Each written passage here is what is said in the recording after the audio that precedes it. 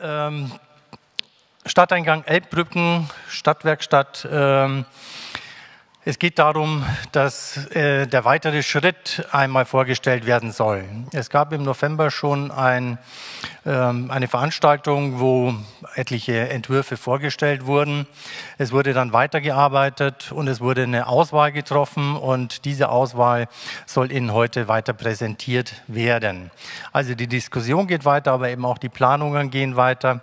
Wir hatten heute Morgen schon eine Pressekonferenz äh, zum Brückenbau ähm, im Hafen City Gelände rüber zu Rotenburgs Ort, die vorgestellt wurde. Also an verschiedenen Ecken und Enden hier in dem Gebiet wird entsprechend geplant, gearbeitet, gebaut und mittlerweile auch schon viel gewohnt. Wir haben im Grunde drei Blöcke für Sie heute. Der erste Block ist ein Informationsblock, das heißt, der aktuelle Stand der Planungen wird Ihnen vorgestellt von den Planerinnen und Planern, unter anderem auch von Herrn Oberbaudirektor Hönig, von Herrn Professor Bruns-Berntelk. Danach haben wir eine kurze Pause. Nach der Pause haben wir einen Block, nennen wir es mal Blitzlichtkommentare aus den unterschiedlichen Bereichen zum Beispiel vom Bezirk, aber auch von den Anwohnerinnen und Anwohnern, von der Viertel etc. Und danach haben Sie, und das ist dann der dritte Block äh, heute, Gelegenheit, Fragen und Antworten zu bekommen, äh, Fragen zu stellen, Antworten zu bekommen. Insgesamt ist vorgesehen da ungefähr eine Stunde, also von 18 Uhr an in etwa. Ich komme jetzt noch zu einer weiteren Besonderheit von heute. Wir sind nicht nur hier live, sondern wir haben heute auch einen Stream. Das heißt, die Veranstaltung wird auf YouTube gezeigt und ähm, jeder, jeder hat die Gelegenheit, dort das zu Hause zu verfolgen. Wir haben darüber hinaus ein Beteiligungstool, Slido. Ich weiß, vielleicht kennt es jemand. Das heißt, über dieses Tool kann jede Person, die zuguckt, ähm, im Stream oder auch hier oder drüben im Zelt, Fragen stellen. Die Fragen können Sie wiederum liken als Teilnehmer oder Teilnehmerin. Das heißt, die Fragen, die dann am meisten geliked wurden, rutschen nach oben. Und wir können dann entsprechend die Fragen, die ganz oben sind, in diesem Fragen- und Antwortteil auch nochmal hier stellen. Also auch die, die zu Hause uns zugucken, können diese Fragen mitstellen. Gibt es hier im Raum jemand, hier im Foyer, der nicht im Stream erscheinen möchte. Im Zweifelsfall ja sowieso nur mit dem Rücken und dem Hinterkopf, aber gibt es trotzdem jemand, der sagt, nein, möchte ich nicht? Da müssten wir dann einmal durchtauschen, aber sehe ich nicht. Gut, vielen Dank. Ja, soweit zu meiner Vorrede. Ich habe eine letzte Frage und zwar habe ich schon angedeutet, es gab im November eine Veranstaltung Stadtwerkstatt zum Stadteingang Elbbrücken. Mich würde noch mal ganz kurz interessieren von denjenigen, die jetzt hier im Raum sind, wer war denn bei dieser Veranstaltung dabei? Einmal kurz mit Handzeichen bitte.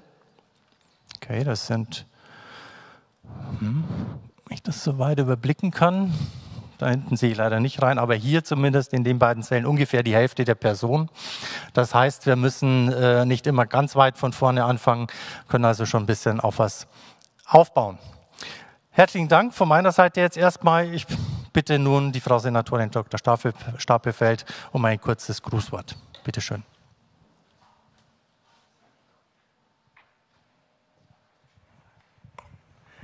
Ja, vielen Dank. Ähm, sehr geehrter Herr Professor Bruns-Berntek, sehr geehrter Dr. Kleiner, sehr geehrter lieber Herr Höing, unser Oberbaudirektor, herzlich willkommen zu dieser Stadtwerkstatt hier in der Ballinstadt und ein herzliches Willkommen auch denen, die diese Veranstaltung per Internet verfolgen. Ich freue mich über das große Interesse ähm, an der Zukunft dieses vielleicht reizvollsten Stadteingangs, den Hamburg zu bieten hat reizvoll deswegen, weil das Überqueren der Elbe mit Blick auf die Elbphilharmonie und in einigen Jahren ja auch auf den Elbtower die Ankommenden auf eine besondere Art und Weise auf unsere Stadt einstimmt. Viele Reisende, die nach Hamburg kommen, teilweise mit dem Flugzeug ähm, und aus der Vogelperspektive beeindruckt sind von der Größe des Hafens, von dem vielen Grün in unserer Stadt, ähm, die das sozusagen gut sind äh, und diesen Eingang hier kennen, der noch nicht ähm, das Reizvolle, über das wir heute diskutieren wollen, was noch zu entwickeln ist, äh, sehen, haben vielleicht einen etwas anderen Eindruck.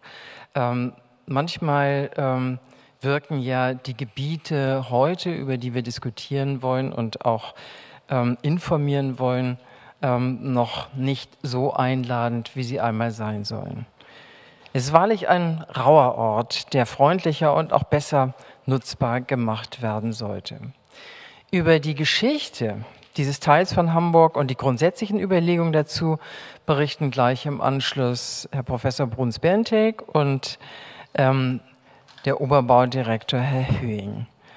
Wir sprechen dabei über lange gewachsene Strukturen, über den Strukturwandel, den in der einen oder anderen Art alle Metropolen erleben, sowie die sich ändernden Ansprüche an eine Millionenstadt des 21. Jahrhunderts.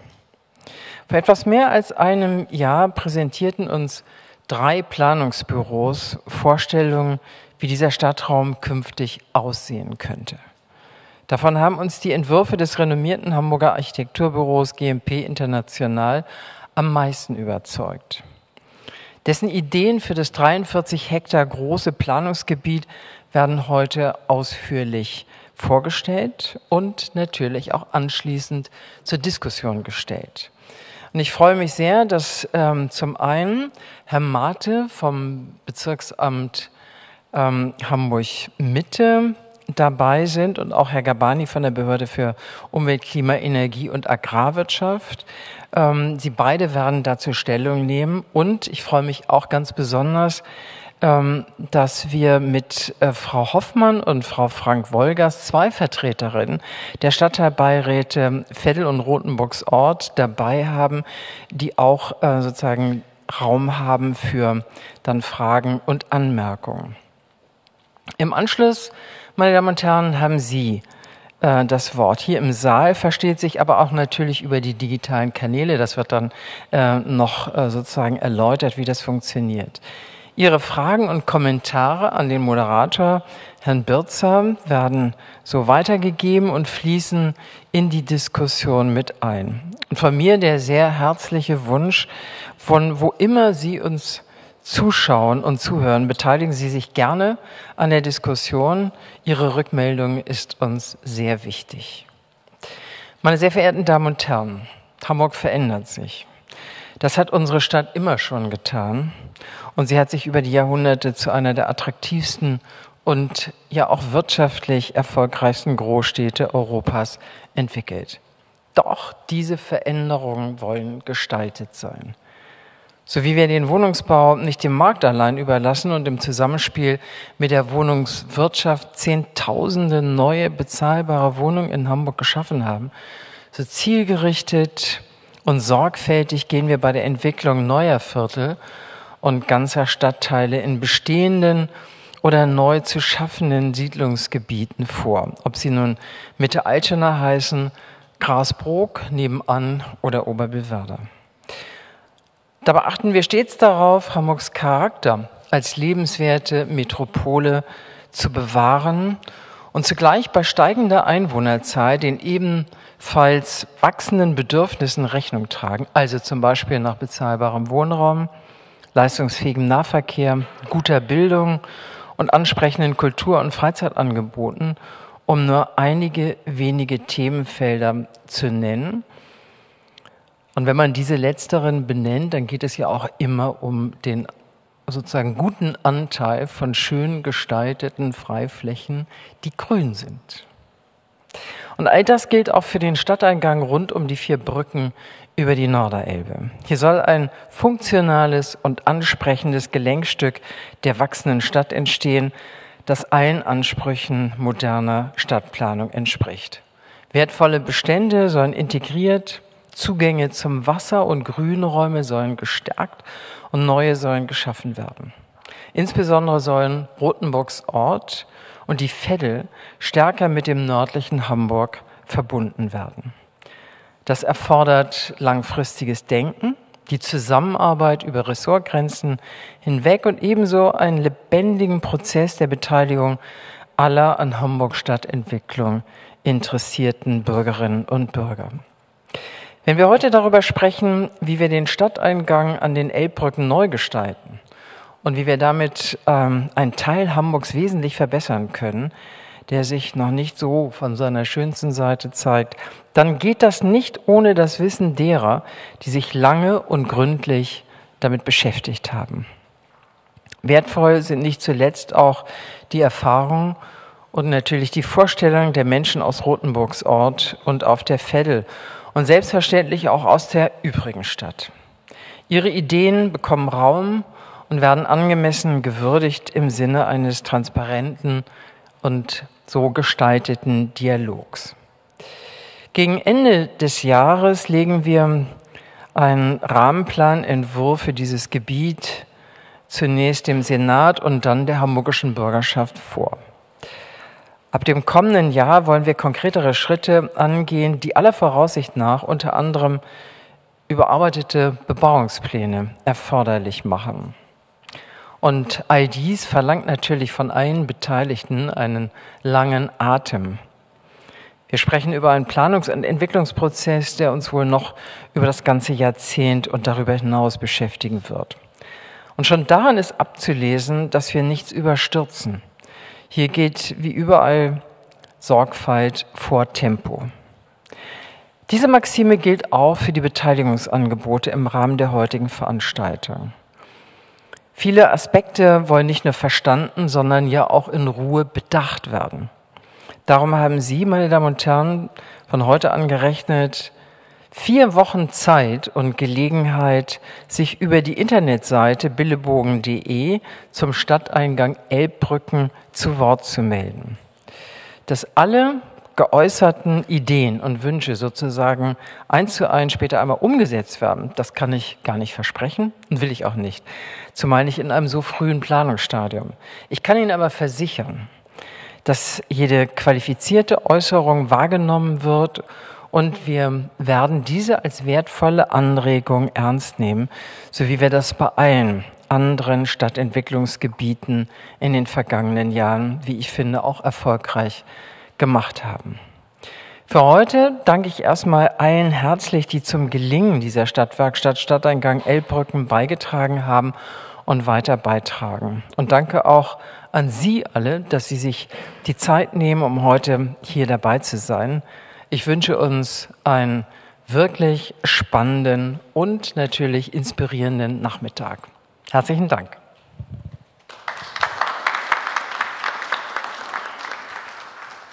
Herzlichen Dank, Frau Senatorin, für die einleitenden Worte. Nun geht es ein bisschen ins Detail. Das heißt, es geht um die Planungen und es geht um die thematische Einordnung. Und ich bitte Herrn Höhing, der ist schon hier vorne, und Herrn Professor Bruns Bernteig hier heute für die Billebogen Entwicklungsgesellschaft einmal nach vorne, um diese Statements hier abzugeben. Herr Höhing, die Regie hat gesagt, Sie sollten hier stehen so. und Herr Professor Bruns Bernteig bitte hier. Also zunächst nochmal will ich mich anschließen an den Dank von Frau Stapelfeld. Das ist alles andere als selbstverständlich, dass hier das Haus voll ist. Unter diesen Zeiten, das finde ich ziemlich beeindruckend, muss ich sagen. Ähm, wir haben ja vorhin so eine kleine Probeabstimmung schon gemacht, Herr Bierzer. Wer war schon mal dabei? Wer ist jetzt ganz neu äh, dabei? Ich habe ein paar Bilder mitgebracht. Es ist Freitagnachmittag. Ja, das Kleingedruckte äh, machen wir nachher will Sie noch mal so ein bisschen abholen. Wo sind wir? Warum machen wir das eigentlich hier? Weil eigentlich, ich darf jetzt glaube ich drücken, eigentlich ist das ja alles schon gebaut. Die Stadt ist da vermeintlich schon fertig. Und das sind gleichwohl die Lagen, mit denen wir uns nicht nur hier am Stadteingang äh, an der Veddel in Rothenburgs Ort in den kommenden Jahren, zehn Jahren, 20 Jahren, 30 Jahren beschäftigen, sondern das sind die Lagen, wo Stadtentwicklung stattfinden wird. Und das ist alles andere als einfach. Das ist nicht die grüne Wiese. Das finde ich gut, dass wir nicht so oft auf die grüne Wiese gehen, sondern alles das, was wir so an Bedarfen haben, an Nachfragen, an Veränderungsnotwendigkeiten, das muss in der bestehenden Stadt stattfinden. Und die sieht an einigen Stellen dieser Stadt so aus. Und das verlangt vielleicht auch ein etwas anderes Vorgehen, als wir das in der Vergangenheit gemacht haben, nämlich nicht nur die Addition von einzelnen Projekten, sondern es braucht ich nenne das immer so ein bisschen salopp, sowas eine Art von Drehbuch. Es braucht eine Vorstellung, wie sich diese Räume in einem langen Zeitraum so schrittweise verändern können. So, und das haben wir begonnen im letzten Jahr, weil wir den Eindruck hatten, wir kommen mit diesen Einzelprojekten nicht immer ganz weiter. Uns fehlt selbst als Planer hier und da so eine Art Maßkette, an dem wir das messen, was da richtig und sinnvoll ist und möglicherweise auch nicht sinnvoll ist. Und deshalb haben wir gemeinsam beschlossen, über Ressortgrenzen hinweg mit den Kollegen äh, von der Bildebogengesellschaft zu sagen, wir versuchen nochmal in größeren Zusammenhängen uns das anzuschauen und nochmal Maß zu nehmen, wohlwissend, dass das ein langer, langer Prozess wird. Und das sozusagen ist dieser Raum, mit dem wir uns beschäftigt haben, von der Veddel nach Norden gedacht, äh, Rotenburgs Ort, was ja ehrlicherweise noch so ein bisschen an der Straße kauert und vielleicht auch nicht der Stadtteil war in den zurückliegenden Jahrzehnten, der mit besonderer Aufmerksamkeit vielleicht bedacht wurde. Es gibt im nahen Umfeld eine Vielzahl von einzelnen Projekten und die mal zusammenzudenken und der Frage nachzugehen, was haben die eigentlich jeweils miteinander zu tun und in welchem räumlichen Zusammenhang stehen die und wie verbinde ich die erstmal auf dem Bild alle ganz nah beieinander liegenden Orten, aber dann doch gefühlt ziemlich weit voneinander entfernt. Also das ist die Aufgabenstellung gewesen, ein paar Bilder, die ziemlich beeindruckend sind und äh, diese Lagen erinnern einen ein bisschen an eine Geschichte von Milan Kundera. Der ein oder andere kennt das ja, dieses unendliche Leichtigkeit des Seins heißt das, glaube ich, oder die unerträgliche Leichtigkeit des Seins, wo so ein Liebespaar durch New York geht und irgendwie feststellt, die letzte Art von Schönheit, das ist die, die nicht geplant war. Und das ist ein bisschen hier so. Man geht da durch, durch diese Lagen und sozusagen ganz nah in unmittelbarer Zusammenhang findet man die ungewöhnlichsten Dinge und die verschneiden sich auch zu Bildern, die schon auch ziemlich einzigartig hier in Hamburg sind und die auch ziemlich beeindruckend sind. Natürlich ist auch der Verkehr und die Verkehrsbelastung ziemlich beeindruckend auf dieser Straße, aber diese Maßstäbe und dieser Raum, der sehr stark von diesen Infrastrukturen geprägt ist, ist schon was Besonderes ohne dass man das jetzt glorifizieren muss.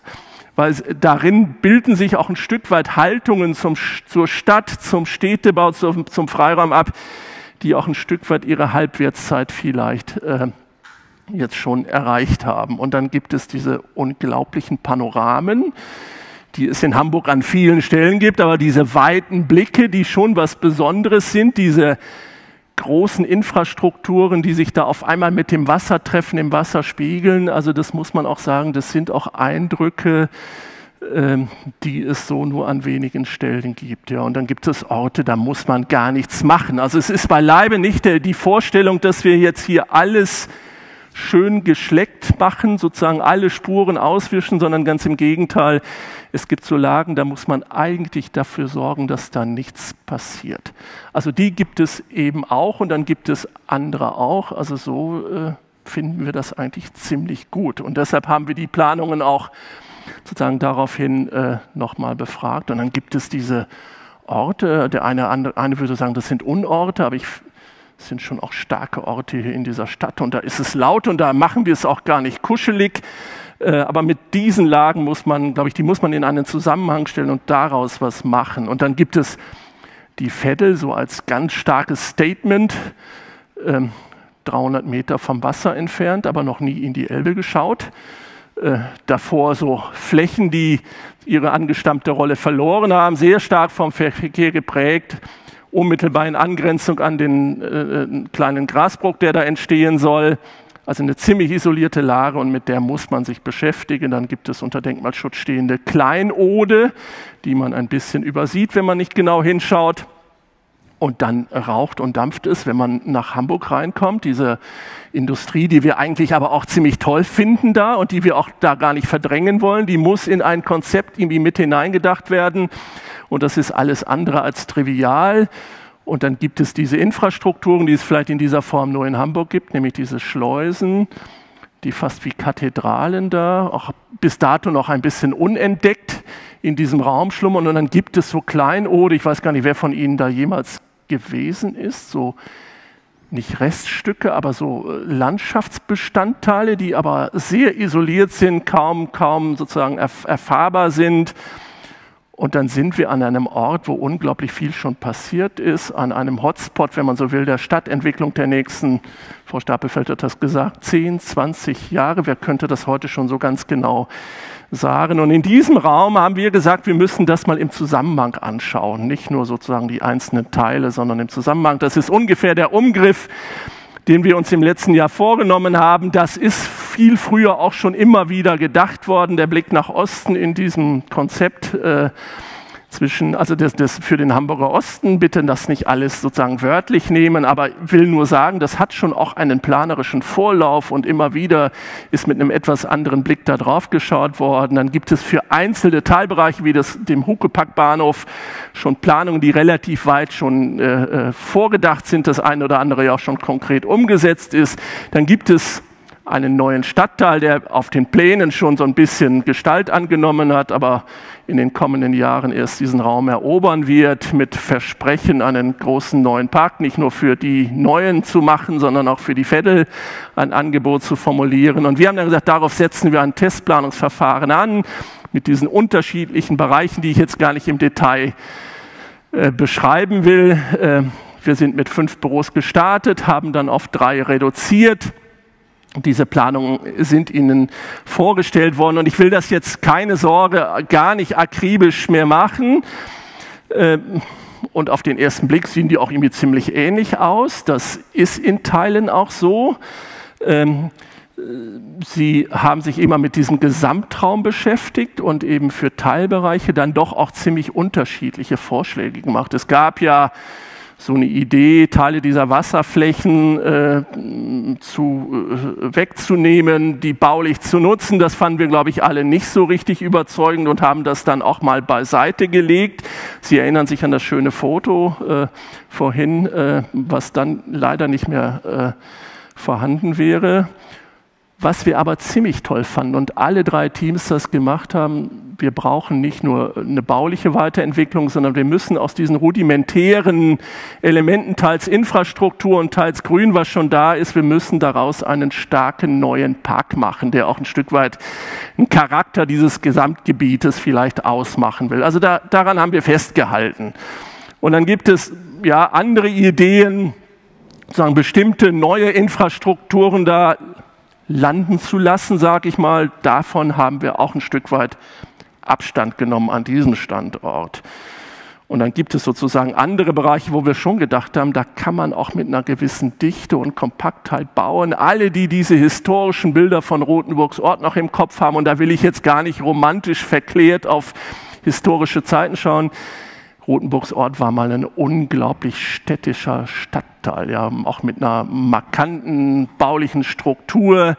Ähm, und das ist heute in Teilen wirklich ja nur noch rudimentär da. Und unsere Idee ist jetzt schon auch weiterhin, diesen Stadtteil näher an die Stadt ranzubringen, über diese Straße rüber zu springen, Autobahnohren wegzunehmen und da auch eine bauliche Entwicklung in Gang zu setzen. Dann gab es sehr unterschiedliche Vorstellungen, wie man mit der nördlichen Veddel umgehen kann. Das war so ein Bild. Es gab ein anderes Bild, die Veddel eher in dieser Logik, die sie hat, auch weiterzubauen.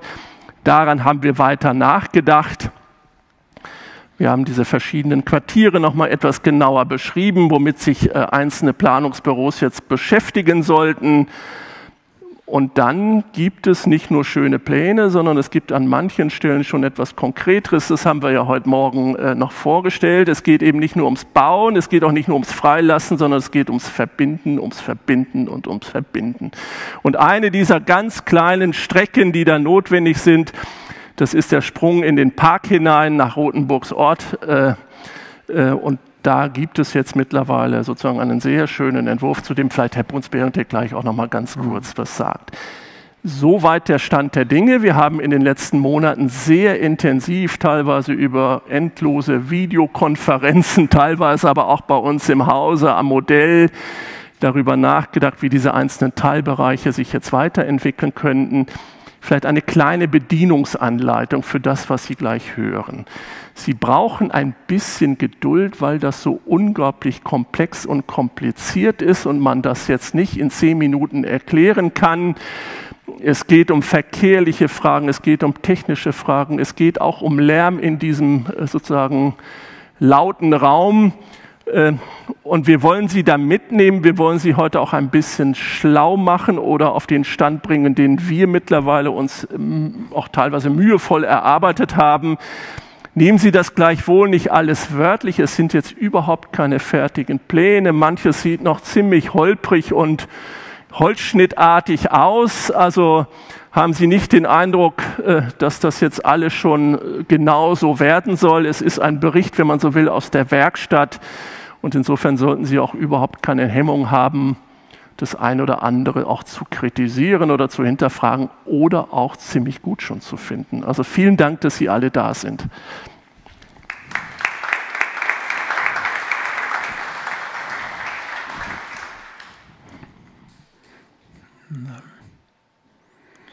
Meine Damen und Herren, ähm, wenn man diese poetischen Aussagen, so wie Herr Höhing sie formuliert hat, und dann darüber nachdenken muss, irgendwann muss ja mal gebaut werden, da zögert man ja beinahe, Herr Höhing, irgendetwas zu machen. Dennoch äh, ist das die Aufgabenstellung und ich will das ein ganz klein wenig deutlich machen an dem Bild, äh, was eigentlich im Hintergrund die Intention ist, in was äh, diese Überlegungen zum Stadteingang an den Elbbrücken eingebettet sind. Und ich will es nur noch mal deutlich machen, Herr Höhing hatte es ja an den bildmächtigen Plänen und Bildern gezeigt. Wir haben natürlich auch Orte zu schaffen für Menschen, für Beschäftigte und für Bewohner. Und Sie sehen, wenn wir hier über den Billebogen sprechen, auch den Grasbruck in der Umgebung, so sind das eine erhebliche Zahl von Wohnungen und Bewohnern, die kommen werden. Wir haben eine erhebliche Zahl von Beschäftigten, die zusätzlich in diesen Räumen Platz finden können, in dieser poetischen Landschaft. Ich will es nur noch mal deutlich machen, denn das Bauen ist manchmal kein Selbstzweck. Wenn man Herrn Höhing so hört, könnte man sagen, man könnte es eigentlich so lassen. Aber nein, man könnte es sagen, Herr Höhing. Aber natürlich wollen wir das auch nicht, sondern wir wollen schon einerseits die Qualitäten von Stadt verbessern auf der anderen Seite geht es auch darum, Arbeitsplätze zu schaffen. Und dies ist in sehr starkem Maße ein Ort für Arbeitsplätze, weil er lärmumtost ist. Tatsächlich ist das gesundheitsgefährdend in vielen Bereichen zu wohnen und auf der anderen Seite dort, wo gewohnt werden kann, auch zu wohnen. Daran wollte ich natürlich noch mal erinnern. Wir ringen auch darum, eine angemessene Dichte, eine angemessene Nutzungsvielfalt, eine angemessene Körnigkeit in der Stadt zu schaffen.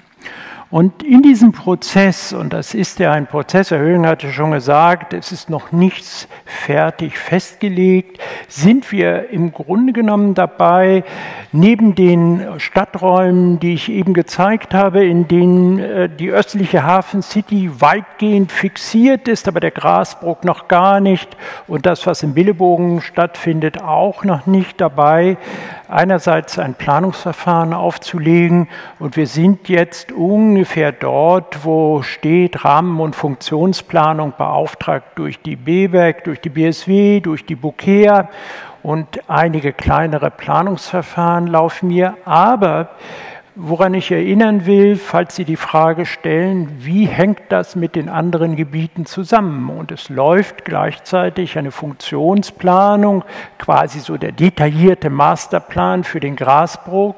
Und auch das stellen wir ja im November dann schon einmal in den Zwischenergebnissen vor. Also es gibt eine Gleichzeitigkeit der Veränderung der jeweiligen Orte, die sich abbildet und es wurde schon gesagt durch Frau Dr. Stapelfeld, irgendwann hoffen wir, Ende dieses Jahres sozusagen einen Plan zu haben, der geeignet ist, dann auch in B-Pläne umgesetzt zu werden, dann auch in Grundstücksanhandgaben, die dann wiederum in Wohnungen münden, in äh, Arbeitsplätze münden, aber natürlich auch möglicherweise in kulturelle Aktivitäten und vieles andere mehr, was sich in einem sehr komplexen Stadtkontext abbildet.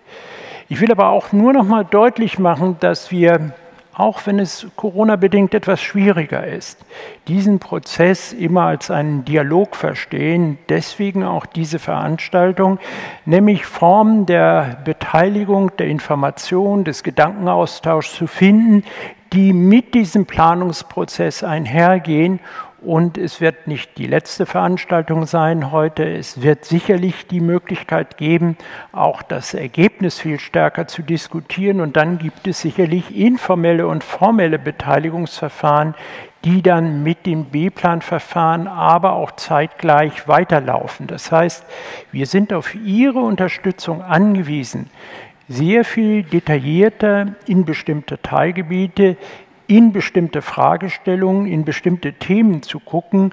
Das heißt, wir haben heute nicht eine endgültige Festlegung dessen, was tatsächlich geschieht, sondern das ist ein Trittstein, ein wichtiger zwar, aber es ist ein Trittstein der weiteren Entwicklung.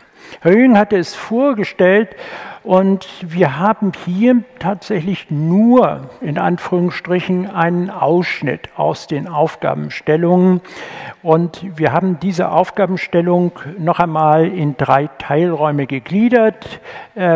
Das wird nochmal sehr deutlich werden, auch in der Darstellung der Planer. Aber der wichtige Schritt war die Verbindung zwischen dem, was nördlich der Elbe geschieht und das, was auf der Veddel Nord geschehen kann.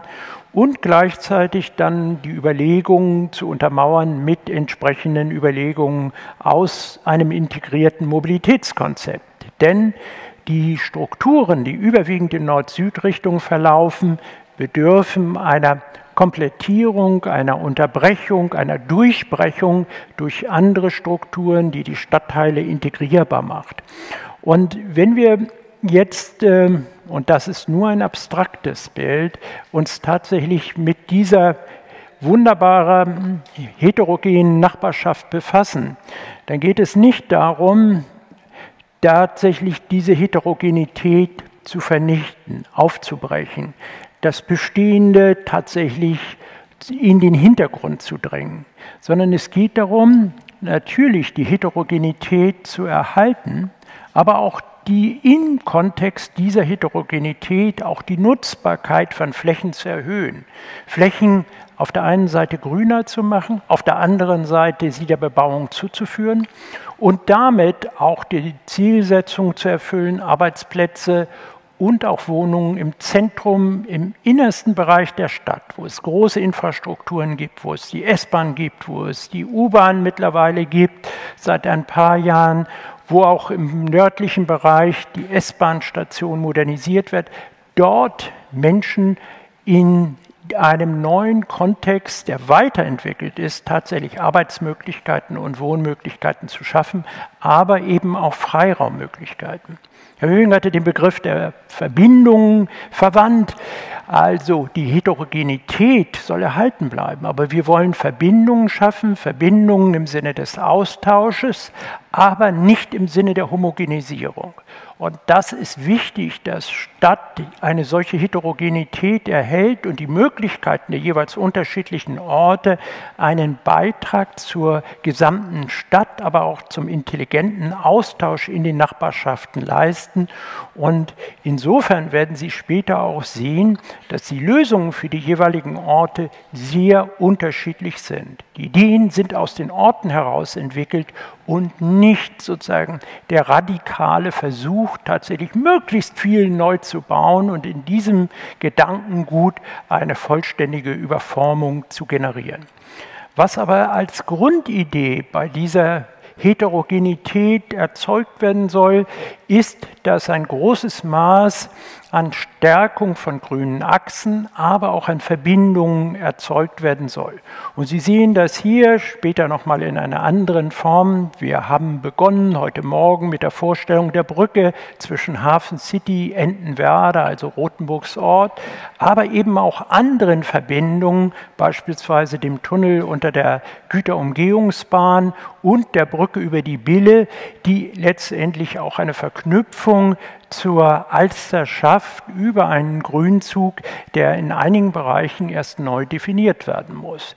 Dies ist ein ganz wichtiger Schritt, ist bereits sozusagen als ein Planungsrückgrat etabliert, das muss man schon sagen, steht auch gar nicht mehr zur Diskussion, ist aber ein wichtiger Hintergrund dieses gesamten Transformationsprozesses. Und natürlich sind es auch die Fragestellungen der Verbindungen in Ost-West-Richtungen entlang des Billhorner Röhrendamms oder beispielsweise direkt an den Elbbrücken mit den Radrouten einer Verstärkung, die tatsächlich entsteht. Und später wird noch mal was dazu gesagt werden, welche anderen Ost-West-Verbindungen wir gedacht haben, damit die Integration von Rothenburgs Ort, der Westteil und der, Nord, äh, der Ostteil tatsächlich besser wird.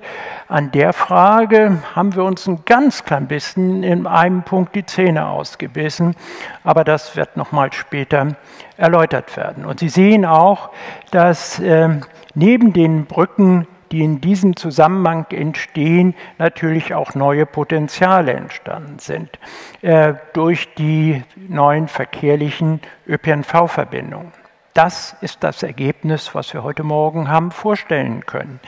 Ähm, Schleich, Bergemann und Partner zusammen mit GMP haben einen zurückhaltenden, sehr eleganten Entwurf für eine Brücke zwischen der Hafen City rechts und Entenwerder links im Bild entworfen, 135 Meter lang.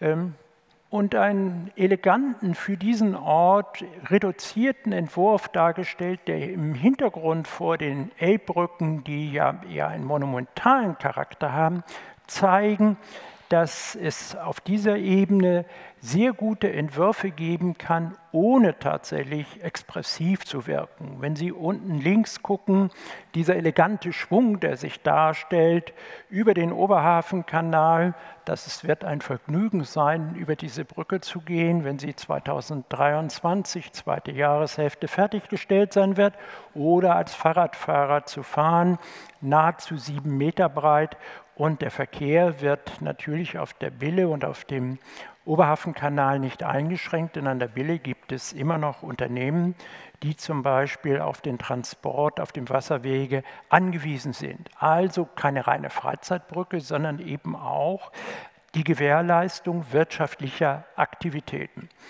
Und die Vettel Nord auf der rechten Seite hier hat natürlich einen ganz wichtigen Fokus, aber sie in Richtung Norden, aber sie hat natürlich auch den in Richtung des Grasbruchs. Und ähm, einige, die sich äh, in den Beteiligungsveranstaltungen zum Grasburg engagiert haben, werden wiedererkennen, dass es auch hier um Verbindungen geht, um das Zusammenwachsen der Veddel, nicht nur im Nordteil, sondern auch eher im Südteil mit dem neuen Grasburg.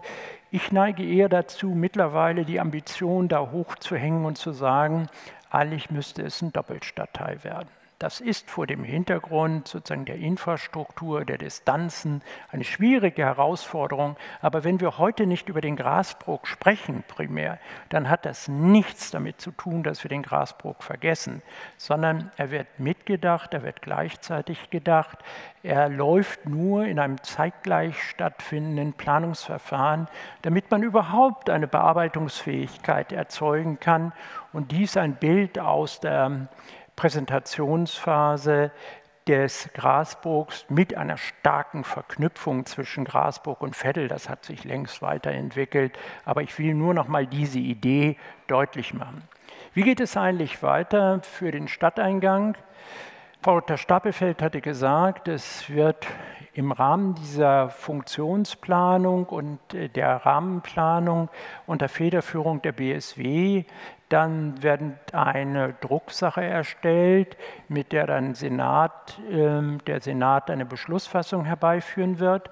Und gleichzeitig werden die Möglichkeiten geschaffen, Grundstücke im öffentlichen Eigentum, das habe ich jetzt nicht nochmal wieder ausgeführt, tatsächlich für eine Bebauung zu mobilisieren. Einfach deswegen, weil wir mit den überdimensionierten Infrastrukturen im Stadteingang tatsächlich kein Zukunftsbild der Stadtentwicklung erzeugen können. Wir brauchen aber auch diese Infrastrukturen gar nicht.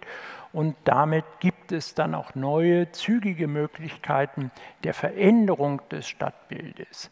Und auf der anderen Seite haben wir dann die politisch-planerische Umsetzung in Form von Bebauungsplanverfahren auf der Nordseite, gegebenenfalls auch auf der Südseite. Und die Anhandgaben sind die Optionierungsprozesse für Grundstücke, die dann tatsächlich für eine Bebauung herangezogen werden. Und ich mache das nochmal deutlich, es gibt auch eine immer weiterlaufende Beteiligung. Also die Kollegen sowohl bei der BSW als auch die bei uns im Haus sind immer auch ansprechbar für Ideen. Ähm, und wir wollen diesen Prozess eines intensiven öffentlichen Dialogs weiterführen, sodass wir einen gemeinsamen Erfolg haben werden bei dem Durchdenken dieser komplizierten Orte, die dann zum Wohl Hamburgs, aber auch zum Wohl der Nachbarschaften ganz neue Qualitäten trotz Bewahrung der Heterogenität bekommen sollen. Herzlichen Dank.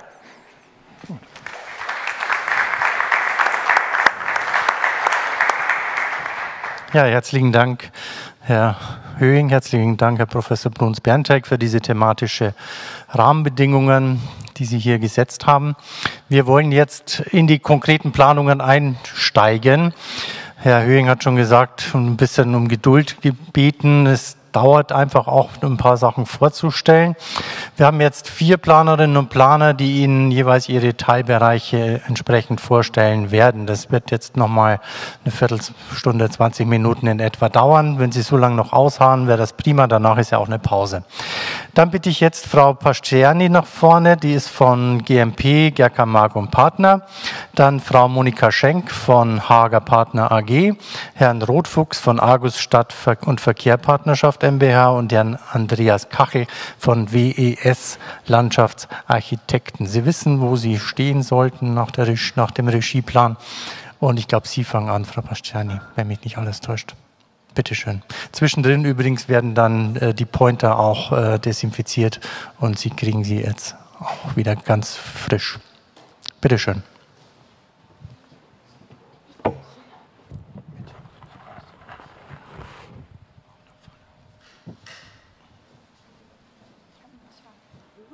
Vielen Dank.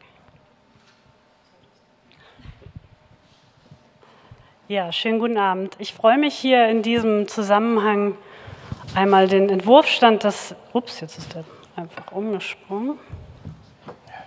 Bin mir nicht sicher, ob der angeschaltet ist. Ah. Jetzt scheint es zu funktionieren.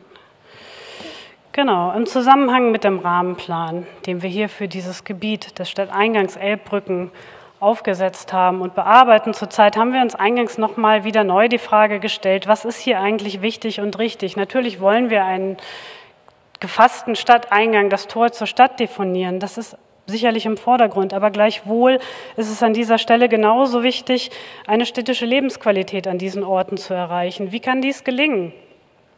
Im Vordergrund, wir haben es im Vorfeld schon oft gehört, steht das Rotenbuchsort und die Veddel, die momentan noch ein bisschen als Siedlungsinseln dastehen, unbedingt mit der Umgebung zu vernetzen, mit allen Mitteln, die uns da zur Verfügung stehen. Gleichwohl wollen wir wertvolle Bestandsgebäude in diesen Gebieten integrieren und bewahren und aufwerten, damit eben die Identität der jeweiligen Orte bewahrt werden kann. Parks und Grünräume sollen gestärkt und besser vernetzt werden. Dafür sind eben der Billepark und auch der Deichpark im Veddler Norden wichtige Bestandteile. Außerdem in diesem gleichen Zusammenhang ist es ebenso wichtig, das Wasser zugänglich zu machen, vor allen Dingen auch im Bereich der Bille, der momentan noch eher wie ein Geheimtipp dasteht. Hier sieht man eigentlich ganz schön den Zusammenhang, der sich da ergeben kann an dieser Stelle, eben mit dem Billepark. Entenwerder ist schon bekannt, aber auch der Veddeler Balkon, der Deichpark im Norden der Veddel sind wichtige Bestandteile, auch dieses Gebiet über den Grünraum besser zusammenzuziehen. Gleichwohl ist es, hier sieht man ganz gut auch zum Beispiel oben der Grasbrookpark ist noch in der Planung, natürlich Entenwerder ist Ihnen sicher allen bekannt. Der Veddeler Balkon ist momentan zwar schon sehr grün und auch ein Naturraum, aber noch nicht wirklich erlebbar. Diesen gilt es eben zugänglich zu machen, genauso wie die Bille. Genauso wichtig ist es natürlich auch, das Infrastrukturnetz zu stärken an dieser Stelle. Der öffentliche Personennahverkehr ist mittlerweile schon deutlich gestärkt durch die neuen U- und S-Bahn-Haltestellen, Elbbrücken. Auch in Richtung Grasbrook wird es eine neue U-Bahn-Haltestelle geben, aber auch die kleinteilige Vernetzung der Quartiere über zusätzliche Buslinien, die zum Beispiel die beiden S-Bahn-Haltestellen in diesem Gebiet direkt miteinander verbindet, sind in diesem Zusammenhang sehr wichtig. Mindestens genauso wichtig ist es aber natürlich auch, die Fuß- und Radwege zu stärken und dies vor allem auch über die Elbe hinweg. Dort gibt es mittlerweile schon länger natürlich Radwege, auch die Veloroute geht dort lang, aber diese Radspuren sind sehr beengt. Die müssen aufgewertet werden. Wir überlegen gerade, ob man es schaffen kann, auch auf beiden Seiten in beide Richtungen zu fahren. Also das heißt, den Weg deutlich zu verbreitern. Und aber auch genauso wichtig noch, vor allen Dingen für die Vernetzung der Stadtteile selbst oder innerhalb der Stadtteile sind die Freizeitwege, die noch zusätzlich hinzukommen können. Besonders im Bereich des Billeparks gibt es da Möglichkeiten, neue Orte zu entdecken. Auch genauso natürlich die Verbindung zum Grasbrook von der Veddel ist hier sehr wichtig. Hier sieht man ganz schön auf dem Bild oben rechts, das ist momentan der sehr beengte Weg, der, den die Veloroute an dieser Stelle nur hat. Wenn man es hier schafft, auszubauen, dann wird das eine deutlich bessere Verbindung, auch über die Elbe hinweg. Ja, es gilt also, das Tor zur inneren Stadt zu inszenieren, aber wie gesagt, eben auch vor allem lebenswerte Stadtteile weiterzuentwickeln. Dazu haben wir noch einmal eine genaue Unterteilung gemacht in drei Teilbereiche, die wir uns gleich im Nachgang noch mal detaillierter anschauen. Alte Dichte neu gedacht, das ist eigentlich unser Schlagwort für die Billhorner Brückenstraße mit dem Billhafen, das heißt den Westen von Rokenburgs Ort, den wieder zu einem echten Quartier zusammenzuführen und somit auch über die Billhorner Brückenstraße hinüberzuführen in Richtung Innenstadt, Hafen City. Die Veddel vernetzen, sicherlich äh, Teilbereich 2 der Veddler Norden, ein ganz großes Interessengebiet. Und ein ebenso wichtiger Bestandteil ist der Billepark im Norden, westlich von Rotenburgs Ort gelegen, der momentan eigentlich eher noch eine ja, komplett vergessene Ecke Hamburgs ist, die man absolut aufwerten kann zu einem schönen großen Park. Ja, anfangen möchten wir mit Teilbereich 1, Rotenburgs Ort, alte Dichte neu gedacht. Man sieht hier schon im ersten Übersichtsplan, was uns wichtig ist. Der Stadtraum soll wieder stark gefasst werden, besonders natürlich die Einfallstraße, die Magistrale. Ich komme in die Stadt spätestens hier an und möchte das an dieser Stelle auch merken.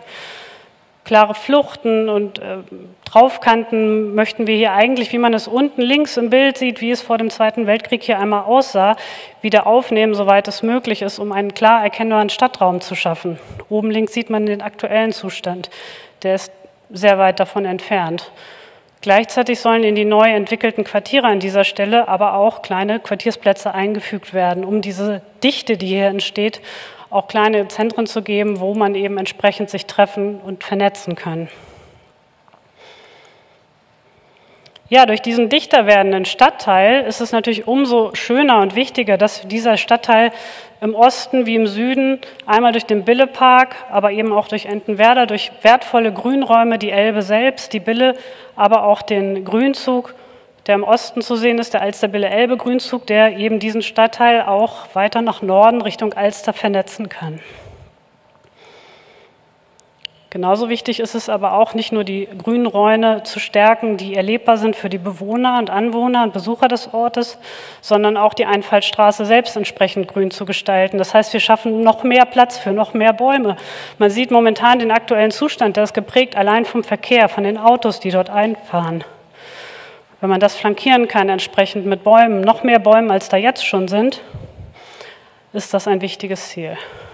Ja, zur Nutzungsmischung kann man auch noch sagen, es soll hier jetzt nicht ein reines Gewerbegebiet entstehen, was man zunächst vielleicht vermuten könnte aufgrund der hohen Lärmbelästigung an dieser Stelle.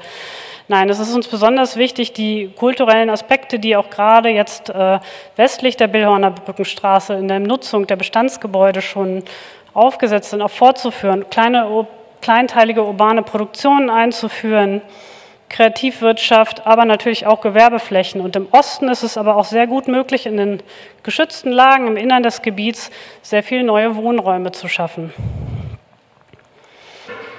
Jetzt kommen wir zu einem etwas schwierigen Bereich der Billhorner Brückenstraße und wie man diese queren kann. Ja, dieses Thema wurde jetzt schon öfters angedroht heute Nachmittag und es geht äh, um die verkehrlichen Fragen.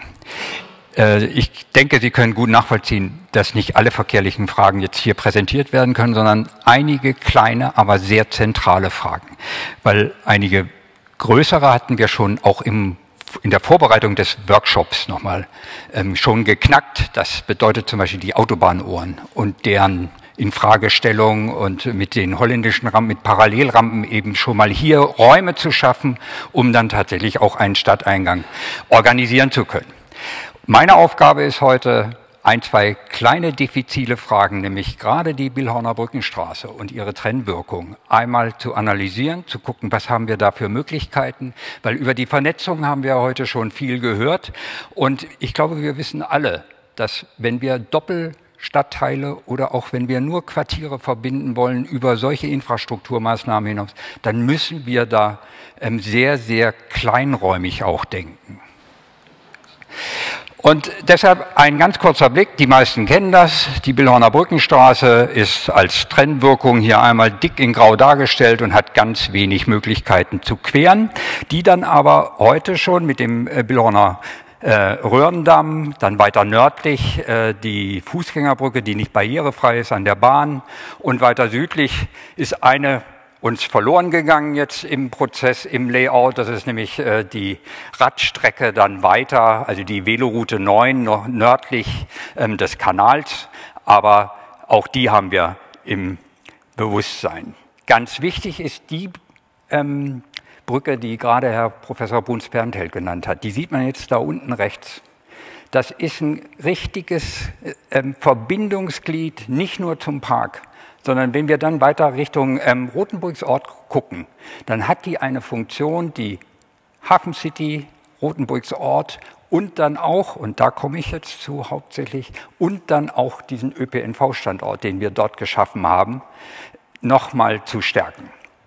Und wenn wir solche Analysen über Radwege und, und Fußwege äh, Beziehungen machen, dann gucken wir immer erstmal, wo sind Schwerpunkte. Wir haben sehr viel über Freizeitwege, auch dann Alltagswege in den Quartieren nachgedacht, aber ich möchte einmal hier exemplarisch ähm, die Bedeutung und dann auch die Anbindung der U- und S-Bahn Elbbrücken für diesen Stadtteil darstellen. Weil Sie wissen alle, ab ungefähr dem Punkt, wo der, Stadtteilplatz, noch ganz bisschen weiter östlich, ab da gibt es dann tatsächlich die Beziehung zu der S-Bahn-Haltestelle Rotenburgs ähm, und äh, insofern hier dieser ganze Bereich ist heute in einem Einzugsbereich und es gibt keine vernünftige S- und U-Bahn. Jetzt ist diese neue hier entstanden. Und wie kommt man dahin? Was kann man da machen? Da gucken wir noch einmal die bestehenden Wegebeziehungen an und ich möchte Sie einmal auf diese rot gestrichelte hinweisen. Weil die steht, also die liegt erstmal nahe. Wenn man Stadtstruktur anguckt, dann denkt man, Mensch, da könnte man vielleicht so mal rüber. Nur wenn man da steht, dann denkt man schon mal, nicht ganz so eine gute Idee, beziehungsweise ähm, da fragen wir dann mal einen Verkehrsplaner oder eine Verkehrsplanerin und der wird dann erstmal still, die dann natürlich auch. Und zwar geht es eigentlich darum, erstmal die Frage, wie kommen wir darüber? Es gibt drei Möglichkeiten. Entweder unterdurch, da haben wir sehr große Schwierigkeiten, weil dort eigentlich alle Leitungen dieser Stadt, die in Richtung Hannover gehen, dort liegen. Und insofern wir neben diesen technischen Schwierigkeiten dann auch einen Angstraum. Jeder kennt diese Angsträume bei Unterführung. Produzieren würden, wo wir eigentlich nicht dran glauben, dass diese Unterführung tragfähig wäre. Dann haben wir einmal geguckt, Niveau gleich, also auf gleicher Ebene mit einer Ampel darüber zu gehen. Da haben wir erhebliche Leistungsfähigkeitsprobleme und zwar auch aus, für die Verkehre aus Stadt einwärts. Also die, die Hamburg verlassen wollen, die haben die Eigenschaft, dass sie dann den Knoten Amdingstraße, ähm, also den weiter nördlichen ähm, Knoten Amdingstraße, Heidenkampsweg lahmlegen. Also auch nicht gut. Dann gab es die dritte Möglichkeit natürlich, oben drüber.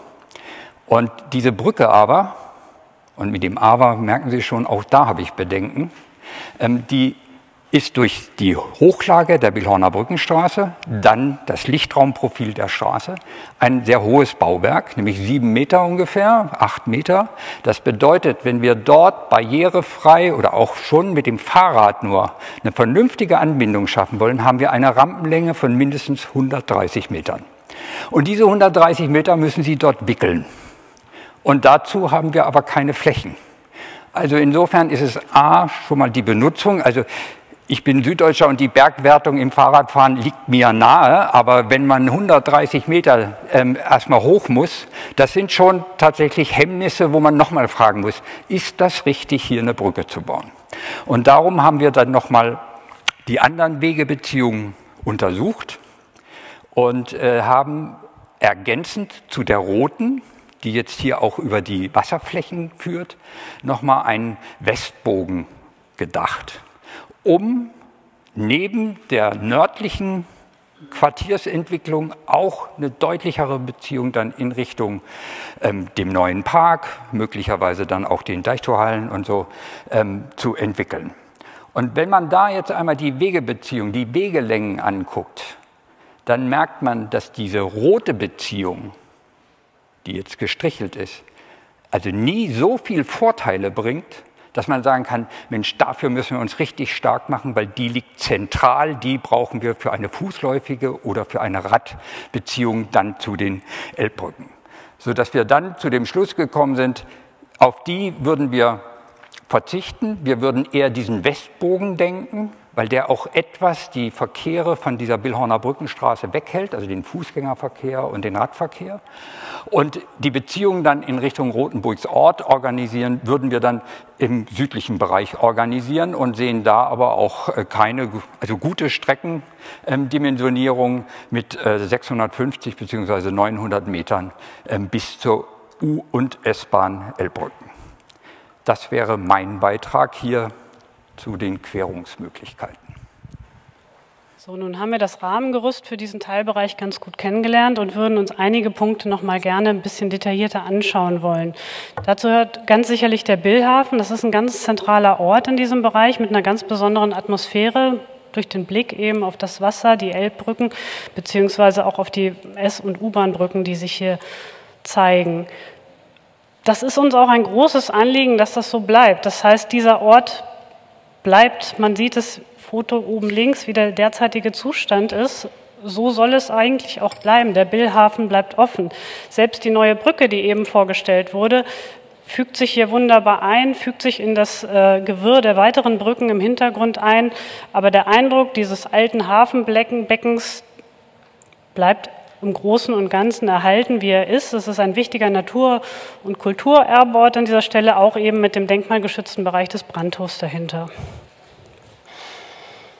Die Brandshöfe im Anschluss, da möchten wir eigentlich, soweit es geht, auch Bestandsgebäude integrieren, die eingefügt werden in eine offene Struktur, die hier auch einlädt, ein bisschen das Quartier im Innern zu durchwandern. Nach außen wird es etwas geschlossener, um eben den Lärm rauszuhalten aus diesem Quartier. Wohnnutzungen sind hier zunächst erstmal schwierig, deswegen eben durch den Lärm, vor allem auch durch die Bahn, ist hier gedacht, dass eben die Kultur, also Kreativwirtschaft, die hier angesiedelt ist, auch weiterhin ihren Ort behalten soll. Das, der Charakter des Orts soll auch hier erhalten bleiben. Man sieht hier vielleicht im Ansatz, wie das gedacht ist. Also an diesem Brandshofer Deich angeschmiegt ist ein kleiner Quartiersplatz, der eben auch die soziale Mitte des Quartiers darstellt. Ja, am Röhrendamm, man sieht es ganz gut auf dem Bild oben links, dieser Straßenraum ist momentan an dieser Stelle überhaupt nicht gefasst. Man hat gar nicht das Gefühl, in einer Stadt zu sein. Das wollen wir unbedingt ändern. Auch dieser Straßenraum wird gefasst. Dennoch gibt es an einer Stelle einen kleinen Stadtplatz, dort, wo sich eben der Röhrendamm mit dem Alsterwilde Elbegrün zu kreuzen wird, einem, einer wichtigen Schnittstelle des Quartiers.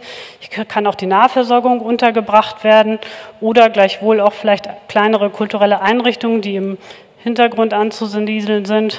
Man sieht es hier ganz schön. Es ist wieder ein wirklich städtischer Raum, wenn wir erstmal so weit sind. Weiter nördlich befindet sich momentan ein größerer Parkplatz, der auch jetzt schon sehr schön von Bäumen bestanden ist. Sieht, man sieht es oben im Bild auch jetzt schon grün aus. Diesen wollen wir stärken, indem wir äh, den Riegel da vor die Bahn noch mehr zuschieben und da wirklich einen lärmgeschützten Bereich auch im Innern des Quartiers schaffen um eben einen Treffpunkt für Jung und Alt an dieser Stelle für alle Anwohner der neu zu schaffenden Wohnräume auch in diesem Gebiet anbieten zu können. Dann gibt es noch die besonders interessante Stelle der Querung der Billhorner Brückenstraße und dem Billhorner Röhrendamm. Der Röhrendamm taucht unter der Billhorner Brückenstraße hindurch. Momentan hat man das Gefühl, man hat da eine ganz schöne Durststrecke, wenn man da durchgeht. Man, man weiß auch gar nicht teilweise, wie komme ich da rüber. Das wird natürlich durch die Fassung des Stadtraums, also die Häuser gehen wirklich fast bis zur Brücke ran. Und selbst da, wo wir zwischen den beiden Brücken sind, also wo momentan dieses bekannte Haus oben links mit dem Mercedes-Stern oben drauf zu sehen ist, auch dieses möchten wir eigentlich öffnen zum Billhorner Röhrendamm, dass man es direkt von hier betreten kann und aber auch eine Zuwegung schaffen kann, eben auf diese Insellage von diesem Haus und weiter nördlich den angrenzenden Bushaltestellen. Somit gewinnt der Billhorner Röhrendamm auch eigentlich eine große Qualität an der Stelle, weil man gar nicht mehr so sehr merkt, dass ich da unter dieser großen Straße hindurchgehe. Ja, wenn man jetzt nochmal den Gesamtvergleich sich anschaut, wie sah es früher aus, links, gestern in Rotenburgs Ort vor der Zerstörung, dann sieht man da ganz deutlich das dichte Stadtquartier, das eingangs auch schon beschrieben wurde. Man sieht in der Mitte den derzeitigen Zustand, der weit davon entfernt ist. Man sieht rechts, dass wir da auf jeden Fall wieder hinwollen, einen wirklich urbanen Raum zu schaffen mit großer Qualität und gleichwohl zum Beispiel am Billhafen Freiräume auch lassen, wo sie uns wichtig sind, wo wir sie schätzen. Ja, dann kommen wir auch schon zum zweiten Teilraum, die Vettel vernetzen. Hier haben wir uns ganz grundlegend nochmal die Frage gestellt. Und deswegen sieht man hier in der Vorschau auch schon zwei Lagepläne, weil sich doch auch die Rahmenbedingungen etwas verändert haben. Wir haben einen neuen Nachbarn hier bekommen, der Grasbrook, wissen nun schon in etwa, wie der aussehen wird. Wir wissen, dass es diese große Brücke geben wird, die vom Grasbrook rüberführt zur Veddel oder von der Veddel zum Grasbrook. Wir haben natürlich den Bestand des Denkmalschutzes hier in Gelb angezeigt, die Zollhallen und eben den Deichpark im Norden, der momentan noch nicht wirklich ein Park ist und natürlich die ganzen Barrieren, Bahntrasse, Autobahn und den Siedlungsblock der Veddel. Was wir hier erreichen wollen, ist eigentlich der Herzenswunsch der Veddler, der schon immer irgendwie vorhanden ist. Wie schaffen wir es denn, an die Elbe heranzukommen? Diese Stelle ist wirklich sehr von großer Bedeutung für die Veddel, weil zum einen kann man hier die Möglichkeit schaffen, zur Elbe zu kommen, von hier auch weiter über Freizeitwege eben zum Grasbrook oder eben auch auf direktem Wege zum Grasbrook und der neuen U-Bahn-Haltestelle.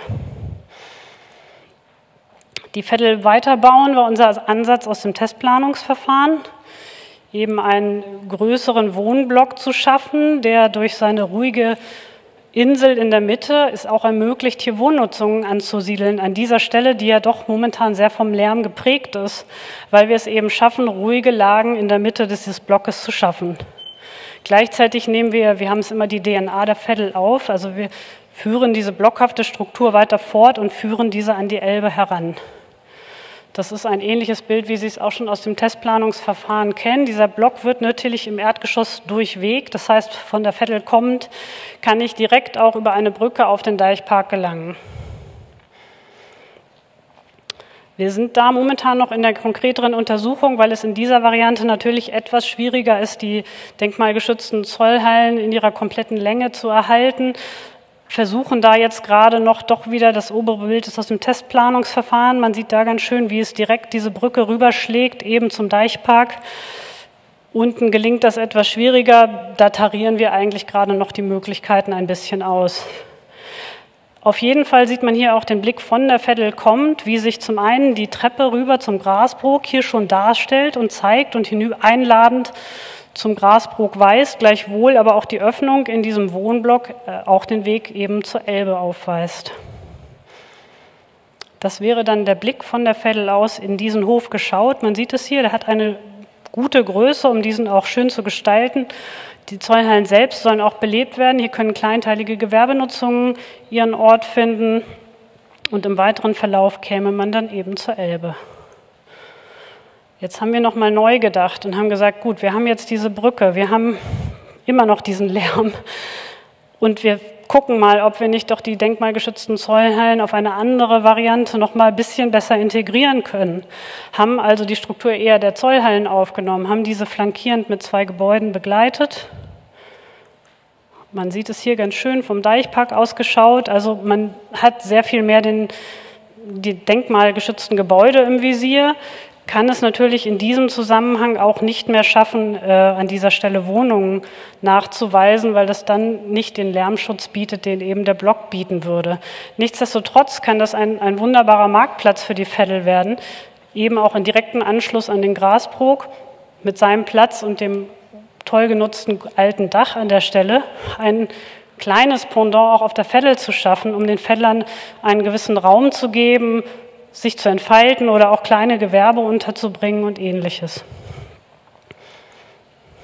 Hier sieht man den gleichen Blick wie vorhin, eben aus der Veddel kommt, wie sich das Ganze mehr noch in Richtung Norden öffnet, natürlich durch die offenere Bebauung. Und das ist eben der Blick wenn ich vom Grasbrook die Veddel betrete. Was sehe ich? Ich sehe eigentlich alles an dieser Stelle. Ich sehe die Veddel mit ihren Zollhallen, ich sehe die neue Bebauung, ich sehe hinten den alten Bunker und ich sehe den Elbtower, ich sehe die Elbbrücken. Diese Variante öffnet sich deutlich mehr vielleicht noch in Richtung Norden, zur Elbe, zur Stadt. Ja, schönen guten Tag. Ähm, wir haben im Team die letzten Wochen und Monaten uns ja intensiv mit den Orten beschäftigt, unter anderem auch zum Fettler Balkon, zu dem ich jetzt gleich komme. Haben uns mit den Behörden abgestimmt, skizziert, Vorschläge gemacht und abgewogen. Und das vorläufige Ergebnis, speziell zum Fettler Balkon, möchte ich Ihnen gerne kurz einmal vorstellen. Da möchte ich erst noch einmal kurz auf die heutige Situation eingehen. Äh, viele von Ihnen kennen den Ort. Ich selbst bin eben noch mit der Bahn vorbeigefahren und war dann doch auch wieder verzückt von der nördlichen Deichseite, denn äh, wir glauben, dass das vielleicht auch ein Ort sein kann, wo man gar nicht so viel machen muss. Weil das ein Ort ist, der jetzt schon seine Qualitäten hat, also sich ein wandelndes Bild zeigt durch die Ebbe und Flut und tolle Ausblicke. Dann die Deichanlage zum Hochwasserschutz indiskutabel, ist natürlich Gesetz bei allen Ideen und Überlegungen, gilt es das immer beizubehalten. Und das südliche Areal ist äh, mit dem Zoomtech Turmbunker so als Relikt bisher eigentlich so eine Fläche mit ungenutzten Potenzialen. Äh, brachliegende Flächen, die zum Teil als Parkplatz benutzt werden. Wir haben uns ein bisschen als Ziel ausgesetzt, wie an vielen äh, Stellen in der Stadt, zum Wasser hin das Wasser erlebbar zu machen und einen Schritt an die Elbe zu wagen. Im nördlichen Bereich glauben wir, dass das durch wenige sensible Eingriffe in die naturnahe schützenswerten Uferzonen sind. Das könnte ein Steg sein, der sich zum Wasser schlängelt und diesen Raum erlebbar und spürbar macht. Auf der südlichen Seite hin zum Vettler Marktplatz kann ruhig mehr passieren. Wir sehen, das könnte ein zukünftiges Sport, Freizeit, genutztes Areal werden mit vielfältigen Angeboten, ähm, um diesen Zoomtech Turmbunker herum könnten ein neues kleines Milieu entstehen mit Kunst und Kultur, vielleicht Ausstellungsräume. Unmittelbar daran ein relativ naturnaher Raum mit Sport, äh, vielleicht Basketballplätzen, vielleicht eine kleine Skateranlage. Es ist eh ein sehr lauter Ort durch die Prielstraße. Von daher ist es prädestiniert dafür, auch laute sportliche Aktivitäten dort anzusiedeln um solche Orte aber dann letztendlich auch wirklich nutzbar machen zu können und für die Bewohner und ähm, für die Feddler und für alle, für den Grasburg wirklich erlebbar zu machen und auch mit Leben zu füllen, ist es unabdingbar, ein Wegenetz zu schaffen, was eng miteinander verknüpft und verwogen ist. Das betrifft die übergeordneten Fuß- und Radwege vom Rotenburgsort kommen hin zum Feddler bei zum Feddler Marktplatz. Das betrifft aber auch den neuen Stadtteil Grasburg, der durch eine neue Unterführung unter den ähm, Bahnbrücken erreicht wird und so miteinander eine enge Vernetzung stattfindet. Zusätzliche Freizeitwege, die das, die Erlebbarkeit des Areals gewährleisten und überall Zugänge schaffen. Das Ganze sehen wir noch einmal im Schnitt, wie es sich darstellt. Im Hintergrund sehen Sie die Bahntrasse. Rechts gibt es die neue Unterführung vom Grasburg zur Vettel und umgekehrt. Dann ist es natürlich wichtig, diese Vernetzung in den Wegebeziehungen auch für alle Altersstufen, für Senioren, für Rollstuhlfahrer, für Kinder möglich zu machen. Das heißt, wir sind angestrebt, ein ähm, behindertengerechtes Wegenetz zu schaffen, was eng verwoben ist, hoch zum Deich, vom Deich rüber zum Vettler Marktplatz durch eine neue, schöne, große aber doch feine Brücke, die es ermöglicht, die viel befahrene Prielstraße relativ qualitätsvoll zu überwinden und direkten Zugang zu dem neuen Ort haben, dem Fettlerbalkon.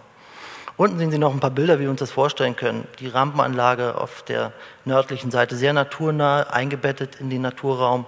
Der kleine Steg als etwas romantischer Ort äh, mit tollen Ausblicken, dann Zukunft auch mit dem Elbtower und das Areal um den Turmbunker eher durch kulturelle und sportliche Nutzung. Das sind so die ersten Visionen, die wir haben. An der Stelle würde ich das Wort an meine Schweizer Kollegin übergeben. Gut, vielen Dank. Äh, zum Billepark komme ich jetzt noch. Eigentlich ein ganz wichtiger Grünraum ja, auf der nördlichen Seite. Wir haben noch nicht ganz so viele Zeit gehabt, um daran zu arbeiten. Was Sie hier sehen, ist ein erster Arbeitsstand, aber das zeigt, glaube ich, schon, in welche Richtung das es gehen könnte. Wichtig ist, dass eigentlich dieses Stück, das hier rot markiert ist, der Billepark, eigentlich ein wunderbares Verbindungsstück ist zwischen der Landschaftsachse der Bille und der Landschaftsachse der Elbmarschen. Wenn man dieses Stück äh, verbinden kann, wenn man das aufwerten kann, entsteht ein äh, zusammenhängender äh, Naherholungsraum, der ja für alle Orte, die hier in der, also alle Quartiere, die hier in dieser Gegend sind, natürlich von großer Bedeutung sind. Was ist denn der Billepark? Es, der Billepark, den, das ist schwierig zu sehen, wie der aussieht. Man sieht Fragmente, man kennt vielleicht Fragmente. Es gilt, den Billepark zu entdecken. Wenn man unten an der Bille ist, ist es räumlich ein ganz anderes Gefühl. Man hat das Gefühl, man ist irgendwo weit weg, aber nicht in der Stadt. Auf der anderen Seite gelebte Nostalgie. Die alte Tankstelle, die kennt sicher jeder hier und jede hier im Raum, ist natürlich ein wunderbares Stück Park auch oder ein wunderbares äh, Teil, kann ein wunderbarer Teil eines solchen Parks werden. Oder es gibt eben auch diese herbe Brückenlandschaft. Das sind ganz andere Räume, es sind unkonventionelle Räume und deshalb haben sie auch ein besonderes Potenzial. Wir haben viel von Verbinden gehört und auch im Bille Park ist das Verbinden eigentlich ganz, ganz wichtig. Wir haben ganz viele spannende kleine Fragmente und es gilt, diese zusammenzubinden und eben daraus eigentlich einen Park zu schaffen. Erschwerend dazu sind diese Fragmente auf ganz unterschiedlichen Ebenen. Und all diese unterschiedlichen Ebenen, die machen eigentlich diesen speziellen Ort auch aus. Es ist ein Park im Werden. Es gilt eigentlich, diese Zusammenhänge herzustellen und dies in Wert zu setzen und nutzbar zu machen. Wie können wir das machen? Es ist ja keine Brache. Wir arbeiten hier in einem Raum, wo es bereits äh, Gewerbe, es gibt bereits Infrastrukturanlagen, die auch weiterhin äh, dort arbeiten wollen und die es zu berücksichtigen gilt. Aber man kann auch kurzfristig äh, bereits erste Verbindungen, erste Fragmente zusammenführen. Das äh, Juwel könnte eine Parkverbindung entlang unten am Fluss, entlang der Bille sein, ein, ein Steg, der die Bille, das grüne Ufer sozusagen verbindet. Es gibt andere Wege, zum Beispiel diese, die dann zur äh, Fahrradroute 9 führen, also auf, den, äh, auf die Hochwasserschutzanlage im Süden, die es zu verbessern gilt. Auch erste Nutzungen sind denkbar. Es sind Aufenthaltsbereiche am Wasser sind möglich. Dort beim Billehain liegt die Liegewiese, die wir dort haben, muss sich überlegen, wie man die vom Lärm auch etwas schützen kann. Es gibt aber auch andere Orte, äh, gerade im Umfeld der Tankstelle, wo Spiel- und Sportmöglichkeiten bereits jetzt realisierbar werden. Ein paar Beispielbilder, wie so etwas aussehen könnte, in welche Richtung dass dieser Park auch entstehen könnte. Längerfristig gibt es dann mehrere Möglichkeiten. Es sind Veränderungen absehbar. Man kann sich vorstellen, dass auch auf der Westseite eine Promenade entsteht. Man kann sich vorstellen, dass diese Brücken, die heute noch für die Logistik genutzt werden, dass die frei werden, dass dort Gleisgärten entstehen und dass somit eigentlich langfristig eine wirklich zusammenhängende Parklandschaft entsteht. Hier zu den Verbindungen und Maßnahmen, dass man eben diese Neunutzung der Logistikfläche und auf der Westseite eben diese Verbindung, diese Promenade entwickeln könnte. Auch hier neue Nutzungen, die den ganzen Park eigentlich vervollständigen. Zuletzt noch ein paar Bilder, wie es dann weitergehen könnte. Also wie der Billepark zu einem verbindenden Glied zwischen dem Naherholungsraum der Bille und zwischen der, und der Elbe und den Flächen der Elbe äh, verbinden könnte. Ja, herzlichen Dank für Ihre Vorträge, für Ihre Darstellungen. Wir gehen jetzt gleich in die Pause. Bitte ein ganz wichtiger Hinweis, wenn Sie nach der Pause wieder in den Raum kommen, setzen Sie sich bitte an den gleichen Platz, an dem Sie jetzt auch sitzen. Das sind so ein bisschen diese Vorschriften, nicht, dass es da hier eine Vermischung gibt und wir die Adressen hinterher nicht mehr haben. Sie haben in der Pause und nach der Pause dann auch Gelegenheit, Fragen zu stellen. Sie können das auch über unser Online-Tool bereits machen. Es gibt die Adresse Slido. Ich weiß nicht, ob die eingeblendet werden kann, kurz. Genau, das ist die Adresse www.sli.do-de dort gibt es den Hashtag Stadtwerkstatt. Dort können Sie sich einloggen und zu Hause, wenn Sie den Stream verfolgen oder auch hier in der Pause schon die ersten Fragen einstellen. Wir machen 15 Minuten Pause. Es geht um 17.45 Uhr dann hier weiter.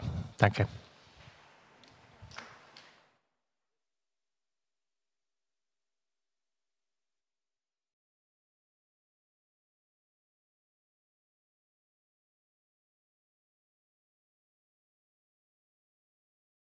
Live. Ja, meine Damen und Herren, es geht weiter im Programm. Wir haben für den zweiten Block sogenannte Blitzkommentare vorgesehen und wir haben dafür unterschiedliche Menschen hier eingeladen. Natürlich sehr gerne die direkten Nachbarinnen und Nachbarn. Da haben wir einmal Frau Hoffmann hier, die sie moderiert den Stadtteilbeirat auf der Veddel.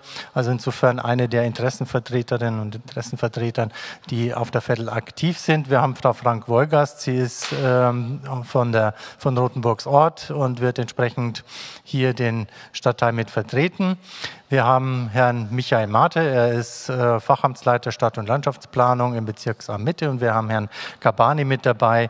Er ist in der Behörde für Umwelt, Klima, Energie und Agrarwirtschaft, der Amtsleiter Naturschutz und, muss ich gucken, Grünplanung und Bodenschutz. Richtig? Gut.